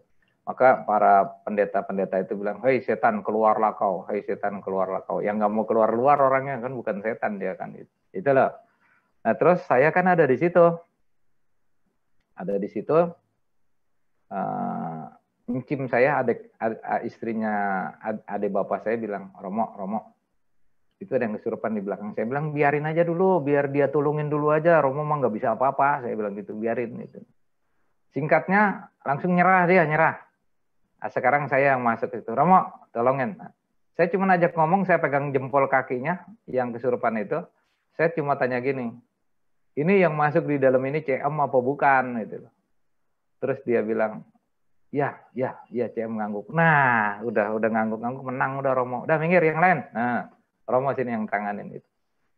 Saya tanya, CM kenapa CM kesurup nyurupin masuk sini nih? Nah, dia itu arwahnya nggak tenang, masih ada di situ, masih ada di sekitar situ karena cucunya yang namanya Jacqueline dia tuh melekat sama cucunya yang namanya Jacqueline, dia tuh masih kasihan sama cucunya yang namanya Jacqueline. Nah, kemudian eh, saya bilang, di sini ada nggak yang namanya Jacqueline? Pada bingung semua, lah kok kamu tahu ada namanya Jacqueline? Bukan saya yang ngomong itu loh, yang disuruhkan itu loh ngomong. Tapi di dalam batin ya gitu loh, saya bisa kedengeran itu. Terus dia, oh ada ini cucunya, cucunya memang cacat. Jadi cacat dari lahir itu diasuh sama CM itu gitu loh. Jadi dia uh, khawatir anaknya itu. Akhirnya saya tanya, gimana Jacqueline? Oh kamu ngomong semua, wah pada nangis semua ya. Jadi ini yang kesurupannya emak katanya. Ya, ya, ya pada nangis semua ya mamanya. Gimana sekarang tuh sama si Jacqueline? Gini aja bilangin emak katanya. E, nanti uang pepaunya itu semuanya kasih Jacqueline lah. Jadi emak nggak usah nggak usah dipikirin, nggak usah dimelakatin gitu loh, nggak usah dikuatirin. Ya oke, saya saya kasih tahu. Bilang CM nanti uang pepaunya itu kasih si Jacqueline jadi, jadi Jacqueline itu udah megang duit gitu. CM e, kembali lagi aja ke alamnya sono e, biar senang tinggalin yang ada di sini beban usil saya kan saya bilang gini saya rangkapkan kedua tangan bilang namo tase. Saya eh dia ngikutin namo bagus saya nggak diomelin sama keluarganya. Usil saya nggak tahu kalau dia palang kan. Saya kan kebiasaan kalau nolong ayo rangkapkan kedua tangan nyebut namo tase. Ini katanya mamanya di namo ini katanya. Udah nggak tahu. Langsung namo tase baru, baru dua kali plak langsung hilang. Udah langsung dia pergi ke alamnya sana. Nah itu menunjukkan bukti empat hari di dalam kemelekatan itu uh, arwah yang meninggal itu masih ada di situ. Ya. Dan uh, ada salah satu agama, saya nggak sebutin salah satu agama, batasannya tuh 49 hari, benar tuh kata yang tanya itu tadi. 49 hari setelah itu masa selama 49 hari dia tuh nggak sadar kalau dia itu meninggal gitu loh. Nah, dia pergi. Ya. Nah, ada satu kisah, ada satu kisah di dalam ajaran agama Buddha kalau nggak salah apa di mana saya dengar. Makhluknya ini baru meninggal, anak cewek baru meninggal. Mamahnya itu udah sembayangin, udah sembayangin, udah udah sembayangin, udah dikasih pelimpahan jasa. Tapi ini anak pas dia baru meninggal, diajak pergi sama makhluk-makhluk peta yang lain tuh, sama makhluk-makhluk setan yang lain dia pergi, dia keliling-keliling, dia senang-senang tuh, senang-senang di alam di alam peta itu dia senang-senang ya ada keliling-keliling sampai dia lupa kalau dia itu udah diberikan pelimpahan jasa tuh sama mamahnya itu ya Nah kemudian selama 49 hari kalau nggak salah dia balik lagi, dia bilang sama salah satu biku, kok saya belum dikasih pelimpahan jasa sama mama katanya. Jadi dia ini eh, nggak bisa nggak bisa tumimba lahir ke alam berikutnya. Terus bikunya itu bilang, kamu sudah dipelimpahan jasa sama mamanya pada waktu kamu meninggal, tapi kamu pergi main-main katanya ke sono. Sekarang kamu balik lagi kemari, mamanya kamu udah nggak pelimpahan jasa lagi Akhirnya dia nangis-nangis minta dipelimpahan jasa lagi diulang. Itu pun di hari ke-49. Ya pas di hari 49 akhirnya mamanya pelimpahkan jasa lagi, kemudian dia pergi tanpa kemelekatan gitu dia. Nah, itu yang pertanyaan yang tadi, apakah ada di dalam ajaran agama Buddha mengenai 49 hari itu? Ada, tetapi agama Buddha itu kan banyak jenisnya, ada Theravada, Tantra, Mahayana, Tridharma, kemudian Budayana, eh, satu lagi apa? Dicari di situ ada yang 49 hari. Ya, ada ajaran agama Budanya pun ada. Namanya alam bawah BHAV A. Jadi alam uh, masih alam uh, kemelekatannya dia di alam duniawi ya. Jadi nanti kalau kamu semuanya eh jangan ya, jangan meninggal dulu, jangan, jangan. Jangan ada melekat dulu ke dunia ya, jangan melekat gitu. Jadi kalau meninggal lupain semua langsung kamu ke alam bahagia gitu. Ya, oke. Ada lagi Cika yang mau ditanya? Masih ada Romo. Boleh. Ayo sampai pagi juga nggak apa-apa ya. Iya. Oke, Romo, apakah ketika seseorang meninggal, apakah boleh menaruh abu dan membuat altar di rumah? Dan apakah ini tradisi atau agama Buddha, Romo? Terima kasih. Nah, itu dia. Agama Buddha itu ada yang namanya tradisi, ada yang namanya aliran Konghucu, adanya uh, menghormat kepada yang patut dihormati. Jadi abu saya pun lengkap kok. Bilang yang nanyanya itu kalau ke rumah saya nih abu orang tua banyak ini nih. Ya foto-fotonya aja orang tua saya dari mama saya, papa saya, cek saya ada tuh, mertua saya ada, dua-duanya tuh. Saya saya sembayangin itu, saya sembayangin tiap tiap gua saya sembayangin gitu loh. Meja abunya ada, ada gede. Kalau mau ikut sembayang boleh sini ke rumah saya gitu. Sekarang tanya, apakah ajaran agama Buddha ada? Nah, kan itu tadi ada yang namanya di dalam si Galawada Sutta, di dalam Tirokuda Sutta, menghormat kepada yang patut dihormati walaupun keluarga kita yang telah meninggal dunia gitu loh. Jadi Romo mau-mauan itu foto orang tuanya disembahkan kan orang tuanya udah nggak bisa makan. Nah kan kita menghormat, menghormat kepada pat, yang patut dihormati, ya. Itu kan namanya asewana cak balanang pandi tananca sewana puja ja puja nih anang eta manggala mutamang ada di dalam ajaran agama Buddha. Kita masih menghormat kepada yang patut dihormati. Siapa? Orang tua kita yang telah meninggal dunia kita menghormati bahwa dulunya kita lahir dari orang tua itu loh. Sekarang ayo Cika, Miki, Leo, ya, Ica, Mei, Aris, kamu nggak punya foto orang tua kamu atau nggak punya emak, emaknya yang udah meninggal tuh ada fotonya di rumah, ada nggak emaknya? Nggak ada. Ah, kamu nanti cucu siapa kamu? Dulunya kamu, dulunya kamu cucu siapa kamu? Nggak ada mukanya neneknya. Anak dari mana kamu dulu itu? Nah kemudian orang tua kamu, pas orang tua kamu meninggal, fotonya nggak ada di situ, nggak ada Cika, nggak ada Cucun, mukanya Cucun nggak ada di situ. nah, ah, kamu gimana? Jadi anak yang kayak apa? Saya pun ngelihatnya kamu kalau nanti Cucun udah tua, udah meninggal, saya tanya, Cika, papa kamu mana fotonya? Nggak ada, Romo udah dibuangin. Wah, mana sih kamu? Nah, di mana iya. rasanya seorang seorang Buddhis itu berbakti terhadap orang tua? Dan sekarang, Tibang, Cucun, ini makan, datang ini ada buah-buahan, ada makanan yang ditanya, apakah papa kamu nih maaf ya, ini contoh doang, ntar bilangin nanti ya. Papa atau Romo, Romo, karena papanya dia ini ah, Romo saya cucun ini nih. Anak, anak buah saya ada bapaknya dia. Jadi kalau dia meninggal disembayangin kan Cika protes, Romo, papa saya emang setan apa tuh disembayangin? Bukan, belum tentu yang yang yang makan buah-buahan di meja abu itu bapaknya kamu belum tentu. Tetapi kamu udah berbakti terhadap orang tua pakai buah-buahan. Nanti siapa yang makan? Biarin aja makhluk peta yang yang tadi itu yang para datu pajewika peta atau kupo pasika peta, biarin dia yang makan gitu. Tetapi secara tidak langsung kamu udah menghormat kepada yang patut dihormati, uh, fotonya orang tua itu yang meninggal. Nah, sedangkan perbuatan baiknya bagaimana? Memberikan buah-buahan kepada makhluk peta yang di sekitarnya bisa makan gitu loh. Jadi kamu kan orang baik agama Buddha kan, gitu kan? Kasih foto bapaknya padahal bapaknya belum tentu bapaknya jadi makhluk peta, disembayangin dikasih buah-buahan, yang makan ini siapa? Yang makan ini kan makhluk peta para datu pajiwika peta yang tadi gitu loh. Nah, itulah agama Buddha itu menghormat kepada yang yang patut dihormati walaupun dia sudah meninggal, makhluk peta yang ada di situ juga dibagi-bagiin semua. Ya, kalau gitu saya buat apa? Cek tiap go sembayang beli beli buah sampai lak peceng, sampai ini sembayang-sembayang gitu, buahnya banyak macam-macam, toh yang makan nggak ada kan gitu. Enggak, bukan begitu. Kita memberikan sesajen menghormat kepada yang patut dihormati. Itulah ajaran agama Buddha, nginget budi orang itu loh. Agama Buddha adalah adalah satu-satunya yang ingat budi orang. Tradisi adalah satu-satunya yang ingat budi para leluhur. Yang lain nggak ada. Makanya balik lagi ke agama Buddha, jangan berhenti kamu. Jangan ya. pindah dari agama Buddha karena agama Buddha itu agama yang paling bagus, agama Buddha yang tahu budi orang tua yang namanya uhau, bakti terhadap orang tua itu agama Buddha. Coba agama yang satu, kalau orang udah meninggal, orang tuanya meninggal, biarin aja meninggal. Dia udah sama dengan Allah Bapa selesai gitu. Kuburannya nggak pernah didatang-datang. Nah, gitu ya, Cika ya. Jadi agama iya. Buddha itu mohon maaf aja ke agama yang lain karena yang ditanya tadi itu boleh sembahyang nggak? Saya kasih tahu orang yang lain nggak pada mau nggak nggak pada mau sembahyang, agama Buddha doang yang mau sembahyang. Itu ya. Nah, itu ya. Oke, ada lagi yang lain? Masih ada Romo. Berbahagialah jadi agama Buddha gitu loh, sembayangin orang gitu ya. Iya betul Romo. Ada lagi? Pertanyaan berikutnya, Romo, apakah ketika kita kehilangan seseorang, kita menangis setiap hari? Apakah orang yang kita tangisi tersebut tidak akan terlahir ke alam bahagia dan menjadi gentayangan di jalanan, Romo? Enggak ya, orang yang kamu nangisin itu, dia hanya melihat dia nggak akan ikut ikut nangis juga gitu enggak lah masa dia nangis juga ngelihat kamu nangis dia nangis enggak dia akan melihat gitu bahwa dia tuh akan kasihan sama kamu karena dia merasa dengan adanya dia meninggal uh, uh, kamu tuh kehilangan dia dia hanya melihat dia hanya kasihan doang enggak dia dia nggak akan gentayangan nggak atau dia nggak akan melekat gitu karena dinangisin melulu jadi dia nggak bisa ke mana-mana gitu loh ngeliatin Cika nangis mulu gitu. Wah, Cika ditontonin terus sama dia.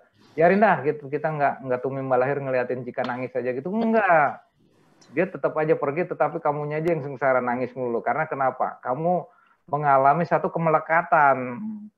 Ya, kalau kamu melekat ya itu nangis terus. Makanya Sang Buddha katakan melekat adalah menderita, melepas adalah bahagia. Kalau kamu udah ditinggal meninggal, meninggal kamu nggak usah melekat. Ya, itu namanya duka. Duka apa? Duka ditinggal oleh orang yang dicintai duka. Tidak berada di kelompok yang tidak kamu senangi duka. Sekarang ditinggal sama pacar nangis sesenggukan gitu duka. Biarin aja cari lagi sama yang lain masa takut gitu loh. Kan agama Buddha ada namanya karma ya. Kamu yang cakep-cakep nih, yang ganteng-ganteng jangan ketawa kamu. Ntar ditinggal sama pacar nangis lagi. Ah, cengeng banget gitu loh. Belajar agama Buddha ada namanya duka. Hilang satu tumbuh seribu. Nah itu, jika diputusin satu cari seribu gitu loh. Karena, karena kamu harus paham di ajaran agama Buddha ada yang namanya duka itu loh, jangan melekat. Jadi kalau ditinggal mati atau ditinggal ke mana jangan nangis melulu karena itu adalah karma. Kamu paham bahwa karma ini di dunia ini lahir sakit tua dan mati. Kalau mati boleh kamu merenung sekali-kali nangis sekali sebentar boleh sedih. Jangan nangis melulu, jangan nangis tiap hari gitu loh. Nangis sekali-kali sedih boleh gitu. Kamu harus paham bahwa di dunia ini adalah duka gitu ya. Jadi yang tadi nangis bukan karena kamu nangis sendiri yang dinangisin jadi jadi setan gentayangan apa hubungannya? Kamu nangis dia jadi setan gentayangan. Dia mah di mana, kamu mah di mana gitu ya. Bilangin nggak ada hubungannya ya. Jadi kamu nangisin orang yang meninggal nggak ada hubungannya yang dinangisin jadi setan gentayangan. Enggak, dia hanya melihat ke kamu bahwa dia kasihan ke kamu karena sedih ditinggal sama dia gitu ya. Dia nggak akan jadi setan gentayangan, enggak, enggak. Ya, nggak ada hubungan kamu nangis di setan gentayangan. Siapa yang menjadi menjadi setan gentayangan dinangisin orang? Enggak. Dia tetap tumimba lahir ke alamnya hanya kasihan gitu loh. Oh, kasihan kamu nangis, kamu sedih nih. Saya tinggal gitu ya. Enggak, enggak ada pengaruhnya bilang Cika ya. Ada lagi yang lain, terus. Ada Romo, uh, apakah agama Buddha selalu mengikuti tradisi-tradisi setempat Romo? Dan apakah dengan membakar kertas sembayang untuk almarhum atau almarhumah dan mempersembahkan buah-buahan makanan ke Buddha sambil melafalkan nama Buddha itu dedikasinya akan diterima oleh almarhum Romo? Bisa. Itu kan saya bilang kalau bakar kertas ada dua ada dua sanksi ya. Ada salah satu uh, di YouTube atau di WA dikirimin sama saya kertas itu ada yang bisa nyampe loh kertas yang bakar duit-duitan itu di alamnya dia ada yang bisa nyampe ya karena pelimpahan pelimpahan jasa kertas itu nyampe kirimin duit saya juga rada bingung tuh ada kamu kalau mau uh, kalau nggak kehapus ya karena saya hapusin ya. Itu ada salah salah satu makhluk dipanggil secara jalangkung itu dia bisa nulis sendiri dan dia katakan dia tuh telanjang di sana kemudian dia dibakarin dibakarin uh, baju-bajuan nyampe itu tuh. Itu rada bingung juga saya tuh pelimpahan jasanya terus yang yang itu ya pertanyaan yang tadi yang bakar-bakaran kertas itu ya bisa nyampe atau enggak saya rada bingung karena ada salah satu uh, jalangkung makhluk itu dibakar bisa nyampe tetapi secara logika itu nggak masuk akal gitu. Nah kalau buah-buahan itu nyampe buah-buahan nyampe itu kalau enggak orang itu tadi nggak ngikutin ada film setan makan buah-buahan kali makan makanan itu nggak apa mau saya setel lagi nih filmnya nih? gitu loh. Nyampe bilangin gitu loh dimakan itu loh buah-buahan itu ya. Kalau nggak percaya suruh sembayang sendiri jeruk jeruk jeruk dah jeruk beli sekilo ya. Sekilo yang setengah kilo taro yang setengah kilo sembayangin. Ayo ya. Kamu sembayang aja di meja abu Romo Kartika aja taruh di situ foto Romo Kartika lo gitu loh kamu sembayangin Romo Kartika aja nggak apa-apa, orang lain jangan Romo Kartika aja kamu foto ambil. Kamu taruh di mejamu, kamu sembayangin gitu. Kamu taruh itu tuh sembayang Romo Kartika makan nih jeruk gitu ya. Tapi setengah kilo setengah kilo ya, yang setengah kilo tuh kamu simpen, yang setengah kilo kamu sembayangin. Setelah tiga hari kamu ambil tuh jeruk yang disembayangin, kamu makan barengan sama yang kamu simpen. Yang mana yang nggak ada rasanya? Ayo. Yang disembayangin itu nggak ada rasa. Nah, kok kenapa bisa begitu Romo? Ayo pikir aja, kalau nggak percaya kita setel lagi film setan yang tadi makan. Ayo, yang tadi lagi makan tuh setannya tuh. Kita setel lagi, ayo. Mau gitu loh. Jadi dimakan. Nah, saya pernah itu kok sama Teddy Santi Balo tuh. Kue kue bolu, kue kue itu ya. Kue bolu satu loyang itu ya. Saya belah dua. Saya belah dua potong gini nih, seret gitu belah dua. Jadi kan kuenya sebelah sebelah yang sebelah saya taruh di Patidana, di Patidana di di STAB Dharma Widya tuh, saya kasih Patidana. Yang satu lagi enggak, yang satu lagi buat Romo. Begitu pas udah acara Patidana, kue yang tadi itu ambil bawa sini, bawa sini, bawa sini. Kita makan sama-sama. Si Teddy makan yang itu yang bekas disembayangin dia makan. Sama Romo lain, kalau Romo Kartika enggak, makan yang sebelah ini nih. Dia makan dibuang sama dia, nggak ada rasanya. Terus kemudian yang nenek nenek makan yang nenek yang tinggal sebelah, dia makan yang sebelah. Enakan ini yang saya ini manis. Yang dia itu dibuang sama dia karena nggak ada rasanya. Sekarang saya mau tanya logikanya di mana? Ayo dimakan apa enggak? Ayo. Padahal kuenya itu bulat itu dibelah dua sama saya. Yang satu disembayangkan satu taruh sini. Tapi habisan sembayang saya suruh bawa kemari kita makan bareng yang dia nggak ada rasanya. Logikanya di mana? Dimakan apa enggak? Ayo. Renungkan aja sendiri. Ya, jika suruh yang tanya itu renungan kayak gitu. Kalau enggak saya setel film setan lagi yang tadi nih. Oke baik. Tadi nonton enggak dia yang film setan gitu bilangin? Iya. Nonton. Oke, ya ada lagi pertanyaan lagi. Oke, pertanyaan selanjutnya ada Namudaya Romo. Kalau ya. kita selalu mimpi didatangi almarhum papa, apakah itu artinya minta pelimpahan jasa? Terima kasih Romo. Ah, ada kemungkinan dua itu. Jadi jawabannya dua kalau kamu mimpi didatengin papa, ada dua.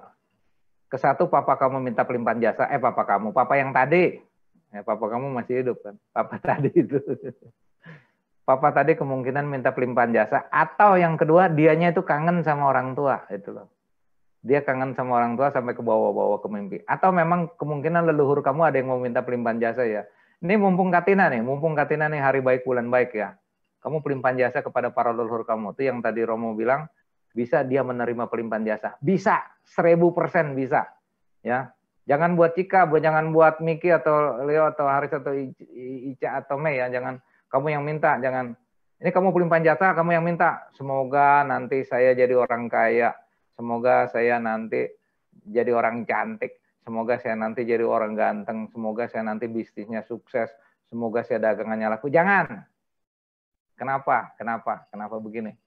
Sekarang saya tanya, ada nggak orang mau makan nih, mau makan, mau makan nasi ya, ini makanan kamu nih, nasi goreng dah yang udah gampang dah, nasi goreng ada telurnya di atasnya. Kamu berdoa, berdoanya begini, berdoanya. Semoga habis makan perut saya kenyang. Nah, ada nggak yang doanya kayak gitu? Ayo. Ada nggak yang semoga habis makan perut saya kenyang? Nih nasi goreng udah di depan kamu nih. Dua, ya Tuhan yang Maha Kuasa, para dewa semoga habis makan perut saya kenyang. Ada nggak? Kenapa? Kenapa? Kenapa? Karena memang habis makan itu kamu kan pasti kenyang kan, betul nggak? Betul. Nah, sekarang yang belum kenyang siapa? Yang belum kenyang itu kamu bagi nasi gorengnya ini sebelah, nih kamu bagi nih sebelah nih. Sebelahnya piringnya kamu makan, sebelah lagi kamu bagi orang. Itu kan orang itu kan masih kenyang kan? Kamu kan nggak usah berdoa, kamu tinggal berdoanya ke orang itu, hei kamu makan itu nasi goreng yang saya kasih sebelah, semoga kamu kenyang. Nah, dia akan kenyang. Karena kamu bagi, betul apa enggak? Ya. Kenapa kamu enggak berdoa? Enggak berdoa, semoga nasi goreng yang saya makan, semoga saya kenyang. Enggak, karena otomatis kamu makan sendiri, kamu udah kenyang. Artinya apa adik-adik? Kamu berdana, berdana kepada Biku Sangha. Kamu enggak usah bilang, semoga nanti saya kaya raya, semoga saya jadi orang senang, semoga saya masuk surga. Enggak usah. Secara otomatis itu udah kamu udah dapet. Yang belum dapat apa? Yang belum dapat itu kamu bagi itu, kamu bagi dari dari dananya kamu untuk siapa? Untuk para leluhur yang membutuhkan tadi dananya itu kamu itu tadi. Paham nggak? Dengan cara apa? Pelimpahan jasa itu loh. Jadi yang kamu kasih ke Biku Sangha itu kamu ngomong semoga dana yang tadi saya berikan itu bermanfaat untuk leluhur saya yang membutuhkannya. Selesai. Nah, itu. Ya. Jadi kayak gitu ya. Kalau berdana apa segala macam jangan ngomong sendiri. Dah. Ada lagi yang lain? Terus seru udah. Oke, ada lagi Romo. Romo, parita apa yang bisa kita bacakan setiap hari untuk mendedikasikan orang-orang yang sudah almarhum Romo? Oh, panjang itu, banyak. Banyak. Jadi kalau mau itu parita cinta kasih karena metasuta satu ya. Karena bisa nggak? Syukur-syukur nggak bisa itu loh. Ya karena metasuta. Bisa nggak nih semuanya? Bisa. Terus pati dana terakhir ya etawata yang paling penting etawata ya. Etawata. Pati dana sama etawata jauh sekali manfaatnya bagusan etawata. Ya. Pati dana itu sama etawata satu banding seratus ya. Lebih kuat kamu baca etawata. Karena etawata itu di situ ada idang tina hotu sukita hontunya tayu idang tina hotu jadi memberikan berkah kepada para leluhur kita yang meninggal. Dan akasata cebu mata dewa naga mahidika punyang tang anamo ditla cirang rakan tuh kamu sebut ya para leluhur udah kalau patidana kan nggak patidana kan semua cuma kiasan kalimat kiasan ya punya sidani kata saya nanya kata nimete sanca bagina hontu satan anda pamanaka tuh kiasan tapi kalau etawata tuh disebut memang tuh ya. Ya, etawata ca ame sambatang punya sampadang sabe dewa, sabe buta, sabe sata. Terus idang wonya tina hotu sukitam tunya tayo akasata cibumata nyebut satu-satu. Para dermawan, para leluhur, almarhum orang tua kita namanya siapa sebut satu-satu dan dia akan gembira menerima pelimpahan jasa. Itu paritanya. Kemudian kalau mau itu parita cula manggala cakawala.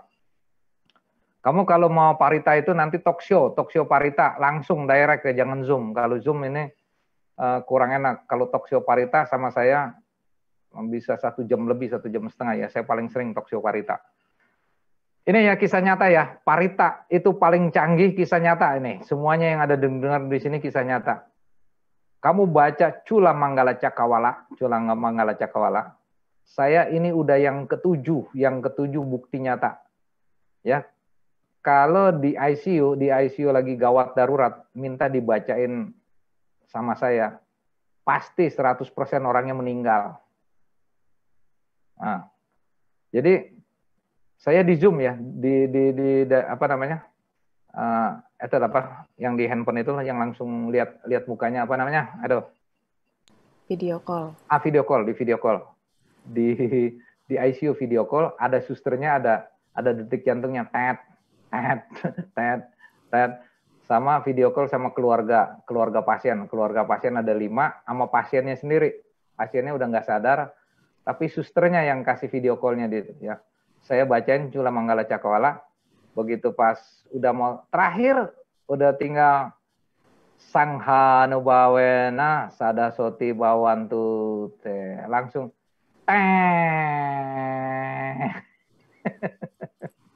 susternya sampai kaget. Pak Romo meninggal ini. Ya saya mana tahu suster, yang penting saya bacain doa. Nah, makanya kamu agama Buddha tuh agama Buddha kamu kalau bacain doa orang di rumah sakit atau di ICU kebanyakan meninggal. Makanya agama Buddha dibilang pencabut nyawa itu loh. Makanya saya habis baca doa gitu kebanyakan kabur saya udah pasti dah kalau bilang Romo Pandita dipanggil udah pasti meninggal nih orang pencabut nyawa saya.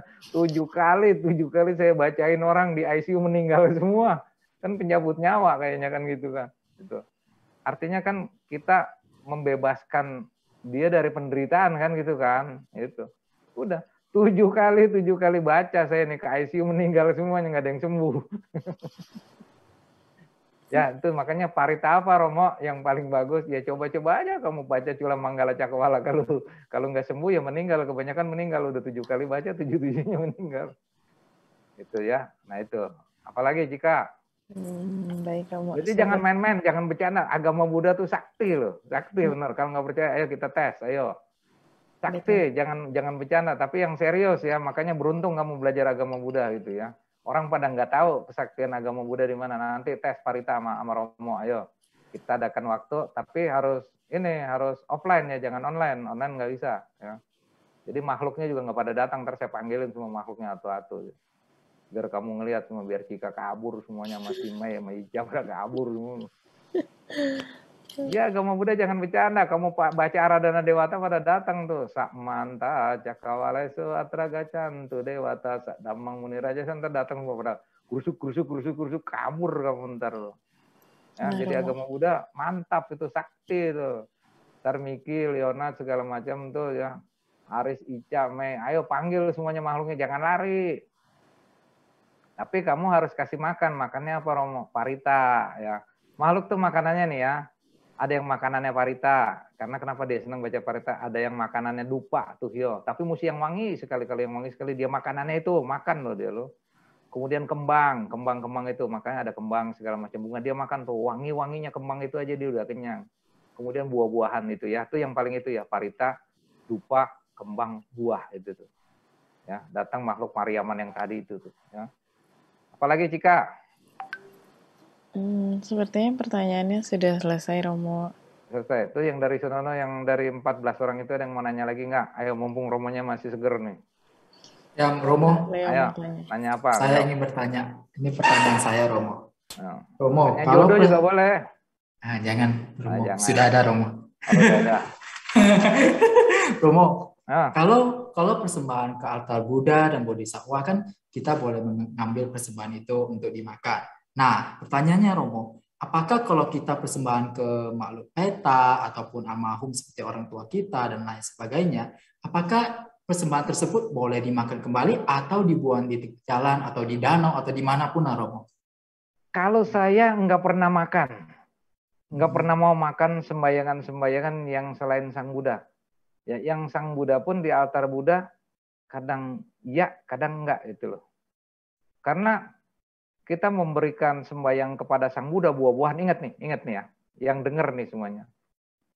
Kamu sembahyang di altar Buddha, bukannya Sang Buddha itu yang makan buah. Ya.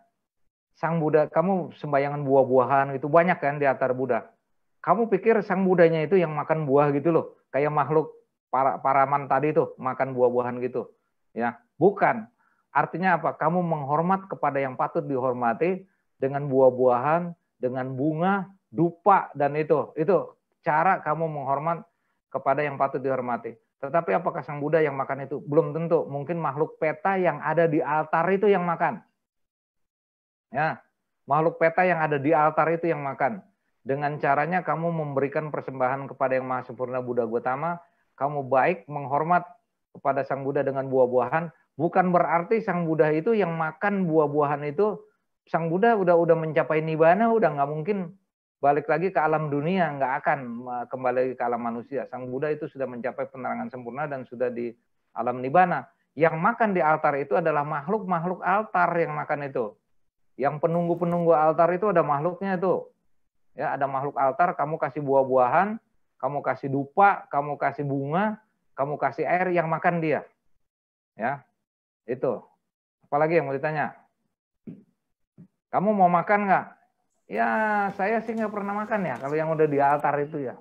Karena rasanya itu udah beda itu loh. Yang makan masa kamu bekas makhluk kamu yang makan lagi gitu. Ada yang bilang Romo jadi pengen Romo makan buah-buahan bekas altar oga saya. Ayo, apalagi? Ayo tanya sini bener Romo. Romo, mau tanya Romo. Ya. Romo kalau bakar hiu wangi uh, dengan bakar menyan yang datang sama atau beda Romo? Ah, mau nyari kuda buntut ini kamu nih. Nah, kalau menyan itu yang datang itu itu loh yang minta kode buntut tuh nomor berapa besok itu menyan itu. Ya.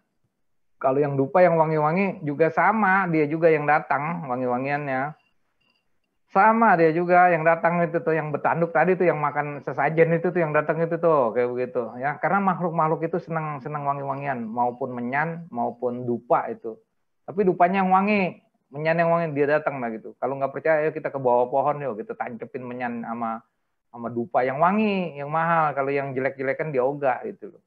Ya makhluk itu ada yang senang. Jadi seperti tadi Miki ya makhluk itu senang makan dupa itu tuh dupa. Tapi yang wangi menyan, buah-buahan, kembang, apalagi satu lagi itu. Menyan, kembang, eh, dupa, buah. Ya udah itu. Tujuh warna. Iya. Buah tujuh warna tapi jangan pakai daun ya. Terakhirnya daun itu daun apa tuh? Uh, daun apa tuh yang buat wangi-wangian itu loh, yang buat masak itu tuh. Daun apa ya? Apa tuh yang hijau, yang hijau, yang hijau, hijau. Daun apa yang kalau daun bukan daun suci daun apa sal, Daun salam, daun pandan, salam. pandan, pandan, pandan. Jangan pakai daun pandan, kamu kembang tujuh rupanya jangan pakai pandan itu loh. Jadi enam jadinya tuh. Ya. Oh, diajarin sama Romo loh kalau beli kembang tujuh rupa. ya. Apalagi jika besok bakar, bakar memenyan biar cucun pulangnya pulang pagi mulu jangan begadang gitu loh jika. jangan Romo. Hmm. Aku bakarin menyan sama Hio gitu. Semoga cucun jangan jangan begadang gitu loh. Ya apalagi tanyain. Kalau saya udah pengalaman yang gini-ginian ya sampai sampai ke kuburan-kuburan dulu sembayang beli menyan mau nyari apa dulu saya tuh. Udah pernah jadi akhirnya saya paham gitu yang datang makhluknya kayak apa gitu loh tahu gitu. Karena 15 tahun ngikut agama yang dari itu yang mainannya bakarannya menyana dari kuburan mulu. Nyari-nyari yang macam-macam yang gak jelas. Akhirnya makwanim puasa turun wah ini nih anak buahnya udah ngaco nih harus ke jalan yang benar itu ketemu makanya ajaran agama Buddha ajaran yang benar betul udah apa adanya kita tahu, paham kamu belajar yang benar jadi tahu kamu isinya apa. Makhluk-makhluk peta juga ada yang begini-gini ntar jika malam-malam didatengin gini nih. Romo bacanya apa sih Romo supaya malam-malam gitu nih jangan didatengin atau dia datang kita bisa penangkalnya. Nah itu nanyanya itu dong. Ya, bacanya apa Romo? Nah, itu bacanya Karanya Metasuta satu ya. Terus uh, Wataka Parita. Wataka Parita. Catat tuh. Iya, catat makhluk ya makhluk nih ya makhluk kalau mau bacain tapi kalau kemasukan lain lagi ini bacain supaya supaya dia nggak ganggu kamu ya kalau yang biasa ya kalau yang namo tasa biasa ya tuh pembukaan ya untuk makhluk itu kalau menyatakan bahwa kamu tuh murid sang Buddha ya Buddha Nusati dan Nusati. Nah isinya baru karena metasuta wataka parita terus atana tia parita.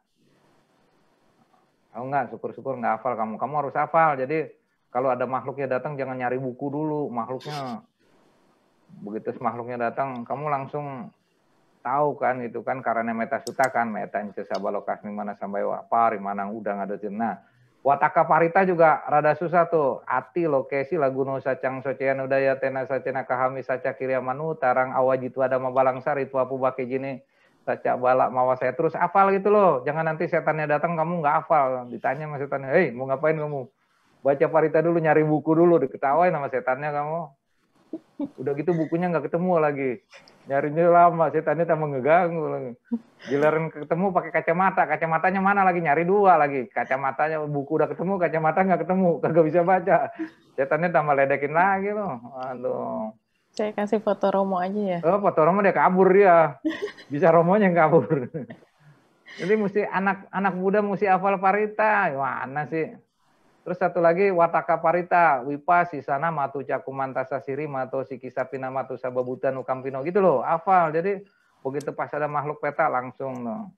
Metance sabalokas mana sambawa apa rimanang udang. Nah, dia tahu oh jangan kalabak kelabakan kamu nyari buku di mana ya bukunya kemarin ada di sini sekarang kagak ada nyari setannya makin ayo ayo ayo ayo katanya ya hafal gitu ada teman saya dulu saya udah bilangin kalau ada binatang binatang ular atau apa, kamu bacain kanda parita itu. Tahu nggak kanda parita? Kamu aja sendiri nggak tahu kanda parita.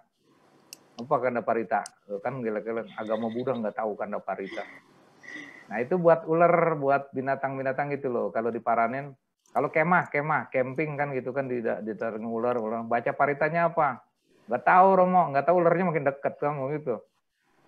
Jadi dia baca biar dia panas, biar dia kegerahan. Ada tuh namanya kanda parita itu. Wiru pakehi memetang, oh. metang erapatehi. Oh itu Romo, oh iya. itu.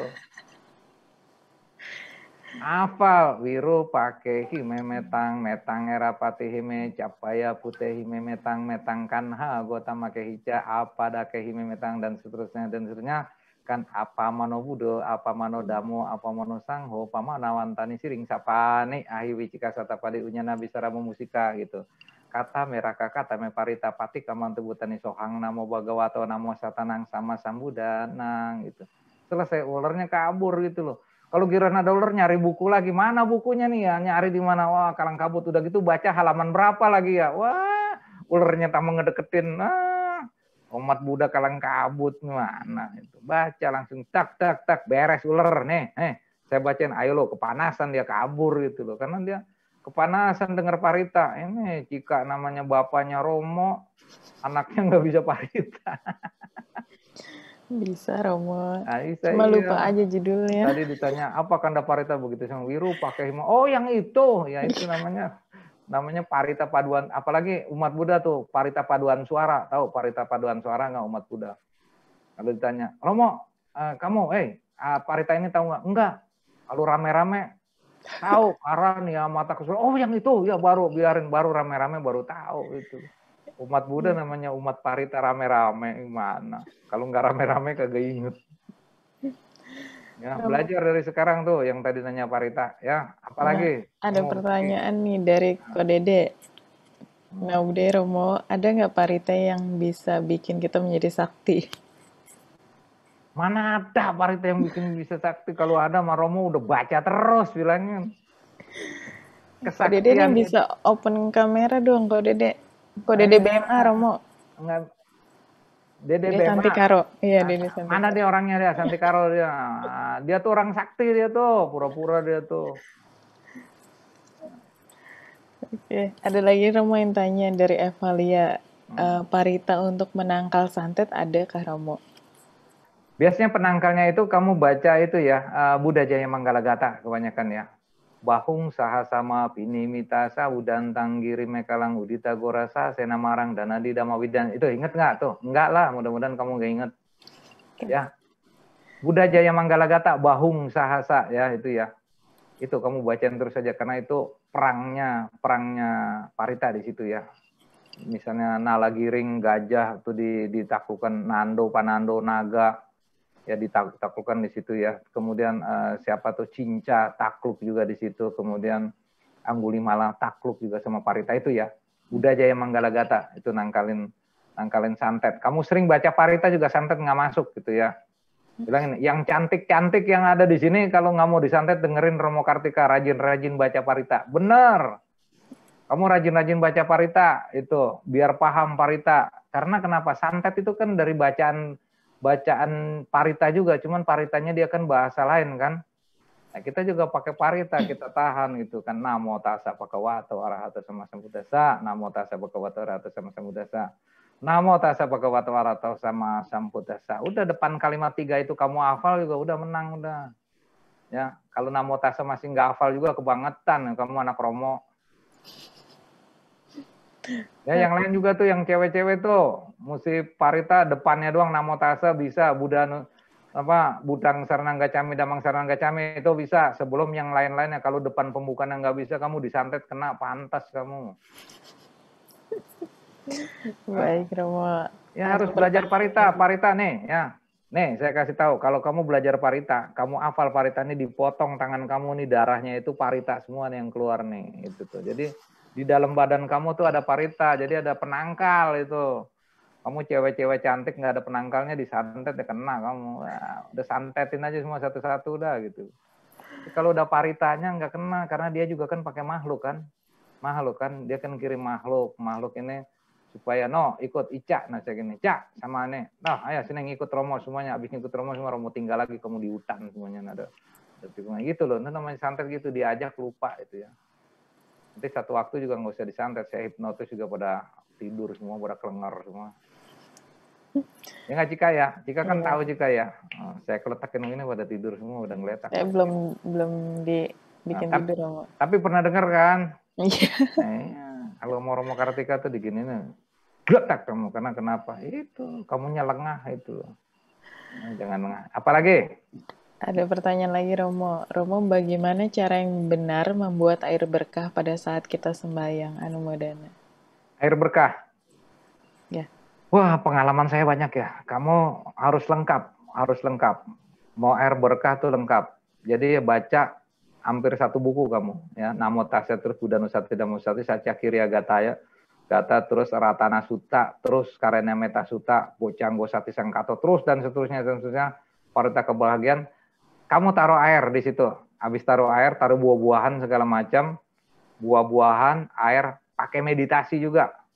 Habis kamu meditasi, kemudian kamu minta maunya apa gitu loh.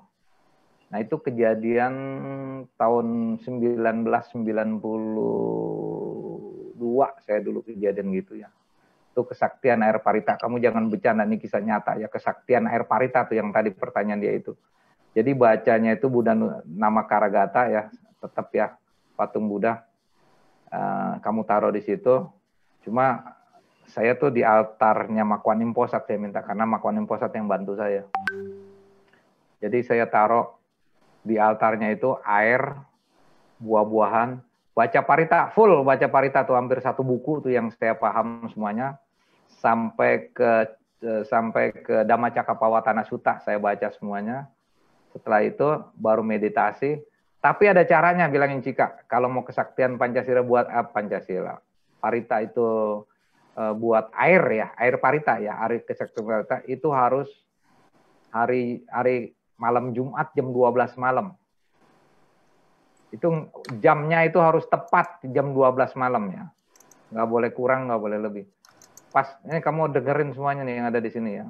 Kalau kamu mau minta ada masalah apa-apa, kamu mau minta air parita, air parita ini saktinya di mana air parita? Malam Jumat jam 12 malam kamu taruh di altar, pas teng jam 12, teng jam 12 kamu langsung baca parita, terus baca parita hampir satu buku tuh ya banyak sekali ya jangan. Nah, ini terus habis itu meditasi, habis meditasi nah, kamu minum air ya, kamu minta mau apa nih? Gitu. Kalau mau melet jika jika kamu pelet aja mudah-mudahan jika ngikut ngikut ngikut Leonard minum klak airnya gitu jika besok ngikut ya dibawa ke Medan dong saya. Langsung langsung dibuang ke laut kamu. Jadi mintanya minta yang benar ya jangan yang macam-macam gitu loh. Minta biar kamu sehat itu yang disantet segala macam semoga kamu bebas dari santetan semua. Minum klak semuanya habis. Habis semuanya. Kalau Romo bohong kali gimana bohong orang itu? Parita parita Buddha kok parita Buddha mana bisa bohong? Berarti kalau bohong berarti Sang Buddha ajarinnya bohong dong itu. Nggak mungkin Sang Buddha itu ajarin bohong. Sang Buddha itu pasti ajarin yang benar untuk menolong umat manusia dari gangguan-gangguan macam-macam. Romo apakah pernah dibuktikan? Pernah Romo buktikan. Cuma Romo nggak mau ngomong aja Romo buat apa gitu kan. Nah, yang pasti kayak gitu. Ya ada lagi Cika. Pertanyaan terakhir nih Romo. Boleh mau mau terakhir boleh mau nggak boleh. Oke, malam Romo, misal kita baca parita, mungkin nggak makhluk di sekitarnya yang dengar parita tersebut tidak paham karena tidak pakai bahasa Indonesia. Mudah-mudahan Romo. Enggak lah, pakai bahasa apa makhluk itu dengar kok, dia tahu kok, dia paham kok. Nggak usah pakai bahasa Indonesia, pakai bahasa Pali dia tahu kok. Tahu makhluk itu. Ya. Sekarang kalau pakai bahasa Islam, makhluk itu tahu apa nggak? Ada yang tahu, ada yang enggak kan? Tahu semua lah gitu makhluk itu tahu dia bahasa kita baca baca bahasa Pali dia tahu. Seandainya dia nggak paham kalimatnya iramanya juga dia seneng kok. Dia tahu kok gitu. Ya makhluk itu tahu semuanya ya. Kalau gitu kamu saya mau tanya yang tadi tanya itu pakai bahasa Pali makhluknya itu tahu apa nggak? Kan gitu kan? Hmm. apa kamu mesti terjemahin pakai bahasa Indonesia? Nggak gitu tanya itu. Nah sekarang kalau misalnya yang bacanya itu orang India pakai bahasa tuh terjemahan bahasa Indonesia nggak supaya orang-orang orang makhluknya sono tahu bahasa Indonesia. Enggak, makhluk itu di mana-mana dia akan paham, ya. Karena dia ada bahasa makhluk sendiri, ada bahasa bahasa yang dia tahu sendiri. Gitu ya. Jadi jangan khawatir nggak usah diterjemahkan, mau diterjemahkan juga boleh. Jadi kalau diterjemahkan makhluk yang baca yang tahu. Ya, makhluk yang baca tahu nggak? Ngerti nggak maksudnya? Gitu? Yeah. Ya kamunya yang tahu gitu kalau diterjemahkan ke bahasa Indonesia gitu loh. Jadi kamu yang tahu artinya apa. Kebanyakan kan orang orang Buddha itu baca parita nggak dibaca terjemahannya karena dia nggak tahu itu loh. Sekarang kalau saya tanya, ase wana cak balanang panditan se wana puja ca puja nang eta manggala mutamang apa artinya? Nggak tahu Romo karena saya nggak baca bahasa Indonesia-nya kan begitu. Coba kalau hmm. kamu baca Indonesia-nya, oh tahu jangan bergaul dengan orang yang tidak bijaksana, bergaullah dengan orang bijaksana, menghormat kepada yang patut dihormati itulah berkah utama karena paham bahasa Indonesia-nya gitu loh. Kalau di zaman dulu makhluk-makhluk yang lain tahu nggak nggak usah diterjemahan. Tahu lah di zaman Sang Buddha pada waktu Sang Buddha baca gitu, ase warna cabaran masa di Sang Buddha mau terjemahin, eh uh, diterjemahin tuh anak muridnya Sang Buddha kasih tahu semua terjemahan biar makhluk yang lain semua tahu. Enggak itu. Dia paham kok itu. Ya, ajaran Sang Buddha bahasa bahasa dia bahasa paham. Ya, yang tanya lagi berapa boleh Liki, Leo yang masih penasaran ayo. Ica, Mei nggak pernah nanya no, denger doang no dia no. Mau nanya dia takut tapi mau tanya ada pertanyaan dia juga nanya tuh. Ayo. Siapa lagi yang mau nanya? Terus sampai ini baru jam 9 belum jam 10. Ayo. Baik, mungkin ada yang mau bertanya. Ada lagi yang mau nanya? Ada lagi yang mau nanya? Silakan. Ini pas loh, saya paling menguasai loh. Tema tema ini saya paling menguasai daripada Silakan. tema yang dama desana yang muluk-muluk saya nggak terlalu menguasai. Yang beginian saya paling demen ini nih. Namo Daya Romo. Ah, nah baru satu. Ya Mei, apa Mei? Romo saya mau tanya. Ah. Mama saya setelah meninggal kan uh, setelah upacara 49 hari. Oke. Okay. Uh, malamnya saya mimpi gitu, mimpi uh, mama saya itu kemasin baju di travel bag terus dia pergi keluar dari rumah. Oke okay, terus, terus? Uh, setelah itu uh, dia perginya ke wihara saya ikutin dari belakang gitu dan mimpi itu. Terus gitu di wihara besar gitu dia pergi ke wihara besar terus gitu dia uh, apa namanya saya dicegat di, di wihara itu. Mama saya masuk aja ke dalam sih. Terus gitu saya dicegat sama bapak-bapak. Dia bilang mau apain kamu? Saya mau jemput mama saya pulang saya bilang gitu udah mama kamu di sini aja katanya. Soalnya kalau pulang kan nanti jadi pusing kata dia gitu. Menurut hmm. Romo mama saya udah terlahir dalam bahagia belum ya Romo? Betul betul betul. Betul. Sekarang saya mau tanya hidupnya eh, sebelum meninggal mama kamu kenal wihara nggak? Tiap kenal Romo dari masih muda udah aktif di wihara. Nah, ya itu dia. Memang memang mama kamu itu yang namanya uh, ke pindah ke alam bahagia Uh, jadi adik-adik semua ya, yang namanya alam bahagia, alam bahagia itu enggak mesti alam bahagia itu bentuknya wujudannya pemandangan indah, kemudian enggak tergantung dari batin ya. Alam bahagia itu tergantung dari batin. Termasuk alam neraka. Alam neraka itu kamu disiksa di dalam alam neraka itu. Bentuk jenis-jenis siksaannya itu tergantung dari batin perbuatan buruk kamu situ. Nah, alam bahagia pun tergantung dari batin. Kalau mamanya dia itu bahagia sekali di dalam lingkungan wihara, iya. bahagia sekali dia di dalam wihara, iya. dia akan tumimba lahir, dia akan ya dia akan tumimba lahir di dalam wihara itu karena dia senang itu. Karena di dalam wihara itulah yang merupakan kebahagiaan dari mama kamu itu. Itu tadi saya merinding tuh langsung di tangan saya ini. Iya, Romo, saya juga hmm. bingung juga diimpinya sampai ya. Um, apa pas 49 hari malamnya itu Romo langsung di ya, karena gitu. dia Nah, makanya itu yang Cika tuh yang tadi ada pertanyaan tadi. 49 hari itu batasannya benar apa enggak? Nah, ini nih. Yang si siapa namanya kamu tadi? Mei. Yang si Mei ini benar kenyataan 49 hari mamanya bawa koper di di dalam alam tuh ya, namanya di dalam di dalam alam uh, alamnya mamanya itu dia cari cari tempat yang dia paling namanya alam bahagia. Alam bahagia menurut mamanya Mei itu lokasinya di wihara. Dia akan pergi ke situ. Jadi makanya kita mendoakan, misalnya Romo Kartika meninggal, semoga Romo Kartika terlahir di alam bahagia. Nah itu iya. alam bahagianya Romo Kartika di mana? Kalau saya sih alam bahagianya maunya di pegunungan, di tempat mana? Nah, saya akan ke sono gitu loh. Tapi mamanya si Mei ini alam bahagianya dia itu mau di sekitar wihara.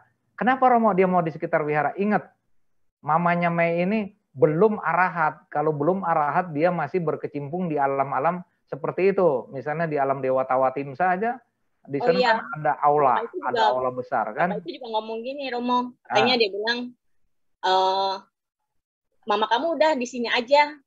Uh, nanti belajar dulu di sini lagi gitu. Iya. Di sini. Karena di alam sana ada pelajaran, alam alam tawatimsa, alam tusita, alam Catu Maharajika Tawatimsa Yama itu ada pelajaran. Sang Buddha pun ngajar Abidama di alam Tawatimsa itu loh. Ngajar ada pelajarannya.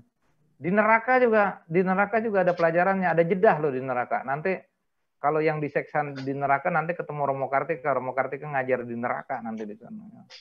Di neraka tuh ada istirahatnya, ada istirahatnya. Jadi yang diseksa-seksa di neraka tuh ada istirahat. Eh istirahat dengerin dama gitu loh. Tuh Nanti Romo Kartika ceramah di neraka sana no. Ini dama dama dama dama gitu ya. Itu. Benar-benar sih ini. Kamu jangan jangan bercanda. Memang agama Buddha itu kayak begini. Agama Buddha itu agama yang satu-satunya paham mengupas tentang kehidupan. Karena unsurnya ada karma. Itu kama saka, kama dayada, kama yoni, kama bandu. kamu pati sarana yang kamang karisanti kalena wak papa kamu tasak daya da bawi santi semua manusia memiliki karma masing-masing mewarisi karma masing-masing lahir dari karmanya masing-masing berhubungan dengan karmanya masing-masing terlindung oleh karmanya masing-masing. Apa pun karma yang diperbuat baik ataupun buruk itulah yang diwarisinya. Itu agama Buddha. Kuncinya ada di situ ya. Mamanya Mei udah bahagia udah di wihara sono. Dia lagi belajar lagi dia. Ntar abis pinter dia lahir lagi jadi dewa dewa dewi. Dia udah pinter dia ya. Ada lagi yang nanya? Silakan. Ini paling hobi saya pertanyaan ini sampai pagi ini nih. Baik, Romo. Ada lagi, ada lagi. Sepertinya pertanyaannya sudah habis, Romo. Contoh satu nih, contoh satu ya, sampai pagi. Ya, boleh, satu. silakan Romo.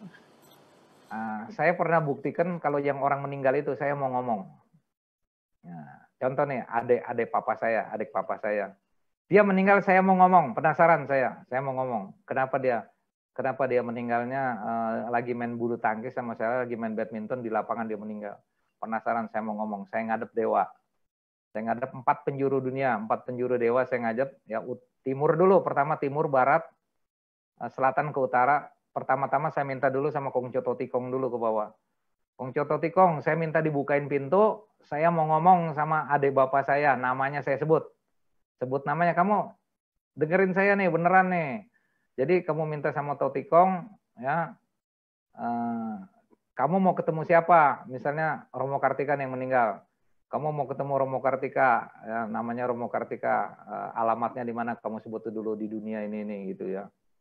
Uh, nanti setelah Kongco Totikong, kamu ke penjuru dunia timur, barat, selatan, utara. Ya sujud nih, sujud, mau ketemu. Udah, selesai dia nggak langsung nggak langsung kamu langsung ketemu sama uh, yang kamu mau ketemu itu karena alamnya jauh ya alam dia tuh dengan di dunia ini jauh saya bisa ketemu sama adik bapak saya itu setelah 101 hari. 101 hari sekitar tiga bulanan. Tiga bulanan baru ketemu. 101 hari ketemu sama arwahnya adik bapak saya. Ketemu gitu. Jadi ketemunya tuh dikasih di alam mimpi jelas sekali. Dia ngomong sama saya begini kenapa saya percaya bahwa itu pesanan saya mau ketemu sama adik bapak saya dari para dewa itu. Dia bilang gini, kenapa? Dia manggil saya Kang ya? Kan dulu kan nama saya Kun Kang ya. Kang, kenapa kamu mau ketemu sama saya? Dah, Bapak tahu dari mana? Ini ada dewa yang ngasih tahu katanya. Ada dewa yang ngasih tahu kamu mau ketemu sama saya. Mau ngomong apa? Katanya. Nah, saya bilang ini, cek kenapa cek meninggal di lapangan bulu tangkis itu? Kenapa uh, meninggalnya di lapangan bulu tangkis? masalahnya apa? Dia bilang, Encek meninggal di lapangan bulu tangkis karena Encek hobinya berburu, tukang bunuh binatang kan, berburu kan. Jadi dia sering berhentiin jantung binatang. Ingat ya, dia sering berhentiin jantung binatang kalau dia tembak itu dar, binatang itu mati, jantungnya berhenti. Maka dia tuh kena karma buruk. Karma buruknya karena dia sering berhentiin jantung binatang, pada waktu dia main bulu tangkis, jantungnya berhenti di lapangan bulu tangkis. Nah, dia meninggal. Dia bilang cek, saya bilang gitu. Saya baru sadar tuh bahwa itu karma karena saya belum agama Buddha dulu, masih LLD luntang lantung di jalan ya. Nah, akhirnya saya paham agama Buddha tuh ada karma itu loh. Nah, terus saya tanya lagi, cek Cek mau pesen nggak nih? Ini mumpung ketemu di akhirat nih, saya bilang istrinya. Cek ketemu sama saya di akhirat susah nih. Cek, Cek mau pesen nggak? Ini buat anak-anaknya yang udah meninggal ini nih, mumpung saya masih bisa ngomong nih. Terus katanya Cek apa? Nggak usah katanya. Dulu waktu Encek masih hidup, dia udah sering Encek nasehatin, biar dia inget katanya gitu. Ya, terus udah Encek pamit lagi ya, Encek mau balik lagi. Dia langsung balik badan, dia langsung pergi. Itu saya yakin bahwa semua yang dia ngomong itu persis kayak yang saya minta. Itu loh 101 hari yang lalu. Itu loh. Karena dia ngomong, kamu mau apa ketemu sama saya? Karena ini dewa ada yang bilangin saya disuruh ketemu. Mungkin dia udah dikasih kunci pintu kali nih suruh keluar, dia suruh ngomong gitu kan. Nah itu ya, jadi adik-adik semuanya, apakah ada hubungan alam manusia dengan alam-alam 31 alam terutama 31 alam kehidupan yang Guru Agung kita Maha Sempurna mengajarkan semuanya jelas ada di dalam ajaran agama Buddha ya baik alam peta, alam binatang, ya alam neraka, alam manusia, alam dewa, catumaraja tawatim saya, matusitani manarati parani mitawasawati ada semua hubungannya di dalam 31 alam kehidupan itu ya. Jadi itu jika nasihat dari Romo, banyak-banyaklah berbuat kebajikan, terutama di dalam bulan Katina ini sempatkanlah berdana beramal ya. Sambil untuk diri kamu, sambil untuk pelimpahan jasa kepada para leluhur yang membutuhkan pada saat bulan-bulan Katina yang berharga ini. Ya, oke semuanya sampai ketemu lagi. Namo Buddhaya. Baik, terima kasih Romo. Masih mau nanya lagi, Leo? Uh, kesimpulan Romo, kesimpulan dari saya sama Etawata. Oke. Okay. Terima kasih. Uh, udah sih, Des. Baik, okay. terima kasih Romo atas jawabannya. Terima kasih juga kepada yang telah bertanya. Selanjutnya saya kembalikan kepada Lea. Ya, terima kasih Ci Laurencia Jessica. Jadi Bapak Ibu, saya akan memberikan kesimpulan pada tema malam hari ini yang dijelaskan hmm. oleh Romo Kartika. Yang pertama yaitu surga berada di kaki, di telapak kaki ibu. Karena ibu kita yang memberikan makan ke kita. Dan yang kedua, apa pun pekerjaan orang tua kita, contohnya bisa sebagai tukang bersih-bersih, pegawai, pegawai rendahan, atau apa pun, itu adalah orang tua kita, Bapak Ibu, yang membesarkan kita, yang yang memberikan kita pendidikan ataupun yang lain yang memberikan kita makan. Dan yang ketiga, di dalam Sigal, Sigalowada Suta ada lima cara seorang anak memperlakukan orang tuanya seperti yang dijelaskan oleh Romo Katika yaitu dahulu aku dibesarkan oleh orang tua, sekarang aku akan menunjang orang tua. Yang kedua, aku aku akan melakukan kewajibanku sebagai anak yang berbakti. Yang ketiga, aku akan menjaga baik kehormatan keluarga. Yang keempat, aku akan menjaga baik warisanku yang diberikan orang tua. Yang kelima, aku akan mengurus pembelian sesajen atau persembahan kepada anak keluargaku yang telah meninggal dunia. Dan poin yang keempat yaitu ketika orang tua masih hidup, maka berbaktilah kepada orang tua. Dan tak kalah penting, ketika kita sukses berada di puncak, Jangan lupa kepada orang tua Bapak Ibu. Ingat orang tua kita yang membesarkan kita, yang menyekolahkan kita, yang mengajari kita, yang memberi makan kita. Bapak Ibu. Dan pesan dari Romo Kartina, Romo Kartika di bulan Katina kita harus banyak-banyak berbuat kebajikan dan bisa melimpahkan jasa ke orang-orang yang kita cintai. Saya mengutip di dalam Tirokuda Suta Bait ke-8 seperti air hujan yang tercurah di bukit mengalir turun mencapai lembah yang kosong. Demikianlah persembahan yang diberikan dapat berguna bagi sanak saudara yang telah meninggal. Terima kasih Romo Katika atas sharing dharmanya pada malam hari ini. Baik Bapak Ibu dan teman-teman sedharma, karena kita telah melakukan banyak sekali perbuatan kebajikan kita, sudah kan mendengarkan sharing dharma dan melakukan dana paramita, maka kita akan melakukan pelimpahan jasa. Ya, pelimpahan jasa ini marilah kita mempersiapkan hati dan pikiran kita untuk dapat melimpahkan perbuatan-perbuatan kebajikan kita yang sudah kita lakukan pada malam hari ini kepada para leluhur kita, keluarga kita, dan diri kita sendiri, dan juga semua makhluk yang akan dipimpin oleh Aromo Kartika. Mari kita berancari Bapak Ibu.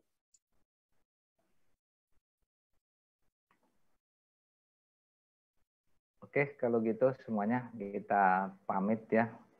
Semoga semua makhluk berbahagia. Sabe sata bawantu suki tata ya. Semoga kamu semuanya juga selamat. Ayuwannya sukang balang dijauhkan dari penyakit dan mara bahaya. Saya ulang lagi, sabe sata bawantu sukitata. Semoga semua makhluk hidup berbahagia. Sadu, sadu. Sampai terima jumpa ya kasih. ya di lain waktu ya. Uh, Romo, terima ya. kasih. Uh, uh, kita masuk ke sesi foto bersama yang akan dipandu okay. oleh Ciro Desia Jessica. Okay. Baik, uh, kita buka kameranya dulu. Oke. Okay. Saya akan screen capture. Satu, dua, tiga. Oke, baik. Terima kasih, Romo. Oke, terima kasih ya semuanya. Terima Sampai kasih, ketemu lagi. Namo Buddhaya. Ya, Romo. Saya ucapkan terima kasih juga kepada Romo Kartika atas pembebaran pada malam hingga hari ini yang sungguh luar biasa sampai semua orang mengeluarkan air mata. Dan saya juga mengucapkan terima kasih kepada Bapak Ibu dan teman-teman sedharma dari berbagai pulau dan daerah terutama dari Ibu Ica dari Malaysia, ada yang dari Medan, ada dari dari yang Jakarta dan Tangerang. Sekedar informasi, minggu depan masih ada lagi sharing Dharma dengan narasumber kita yaitu Romo Sumedo yang berjudul Makna Pelepasan Makhluk Hidup atau sering dikenal dengan Function. Pada jam yang sama, pukul 7 malam di Zoom, Facebook Paramita Suka, dan YouTube Buddhist Channel. Bapak, Ibu, dan teman-teman sedharma, jangan lupa untuk follow Instagram kami, Yayasan Paramita Suka, dan Buddhist Channel untuk informasi-informasi terupdate setiap minggunya. Saya akan memberikan closing statement dari Dhamma pada 82. Bagaikan danau yang di dalam, bagaikan danau yang dalam, airnya jernih dan tenang, demikian pula batin pada orang bijaksana menjadi tentram karena mendengarkan dharma saya, Leonardo Jansewinata, mewakili Panitia Dhamma Sawana Paramita Suka, mengucapkan terima kasih kepada Romo, Ramani, Upasaka, Upasika, dan teman-teman sedharma semuanya. Selamat malam, Namo Buddhaya. Yayasan Paramita Suka tumbuh bersama semangat dalam kebajikan. Terima kasih, terima kasih Romo. Terima kasih Romo. Terima kasih Romo. Terima kasih semua. Sehat selalu ya. Terima kasih Cica. Selamat malam. Um.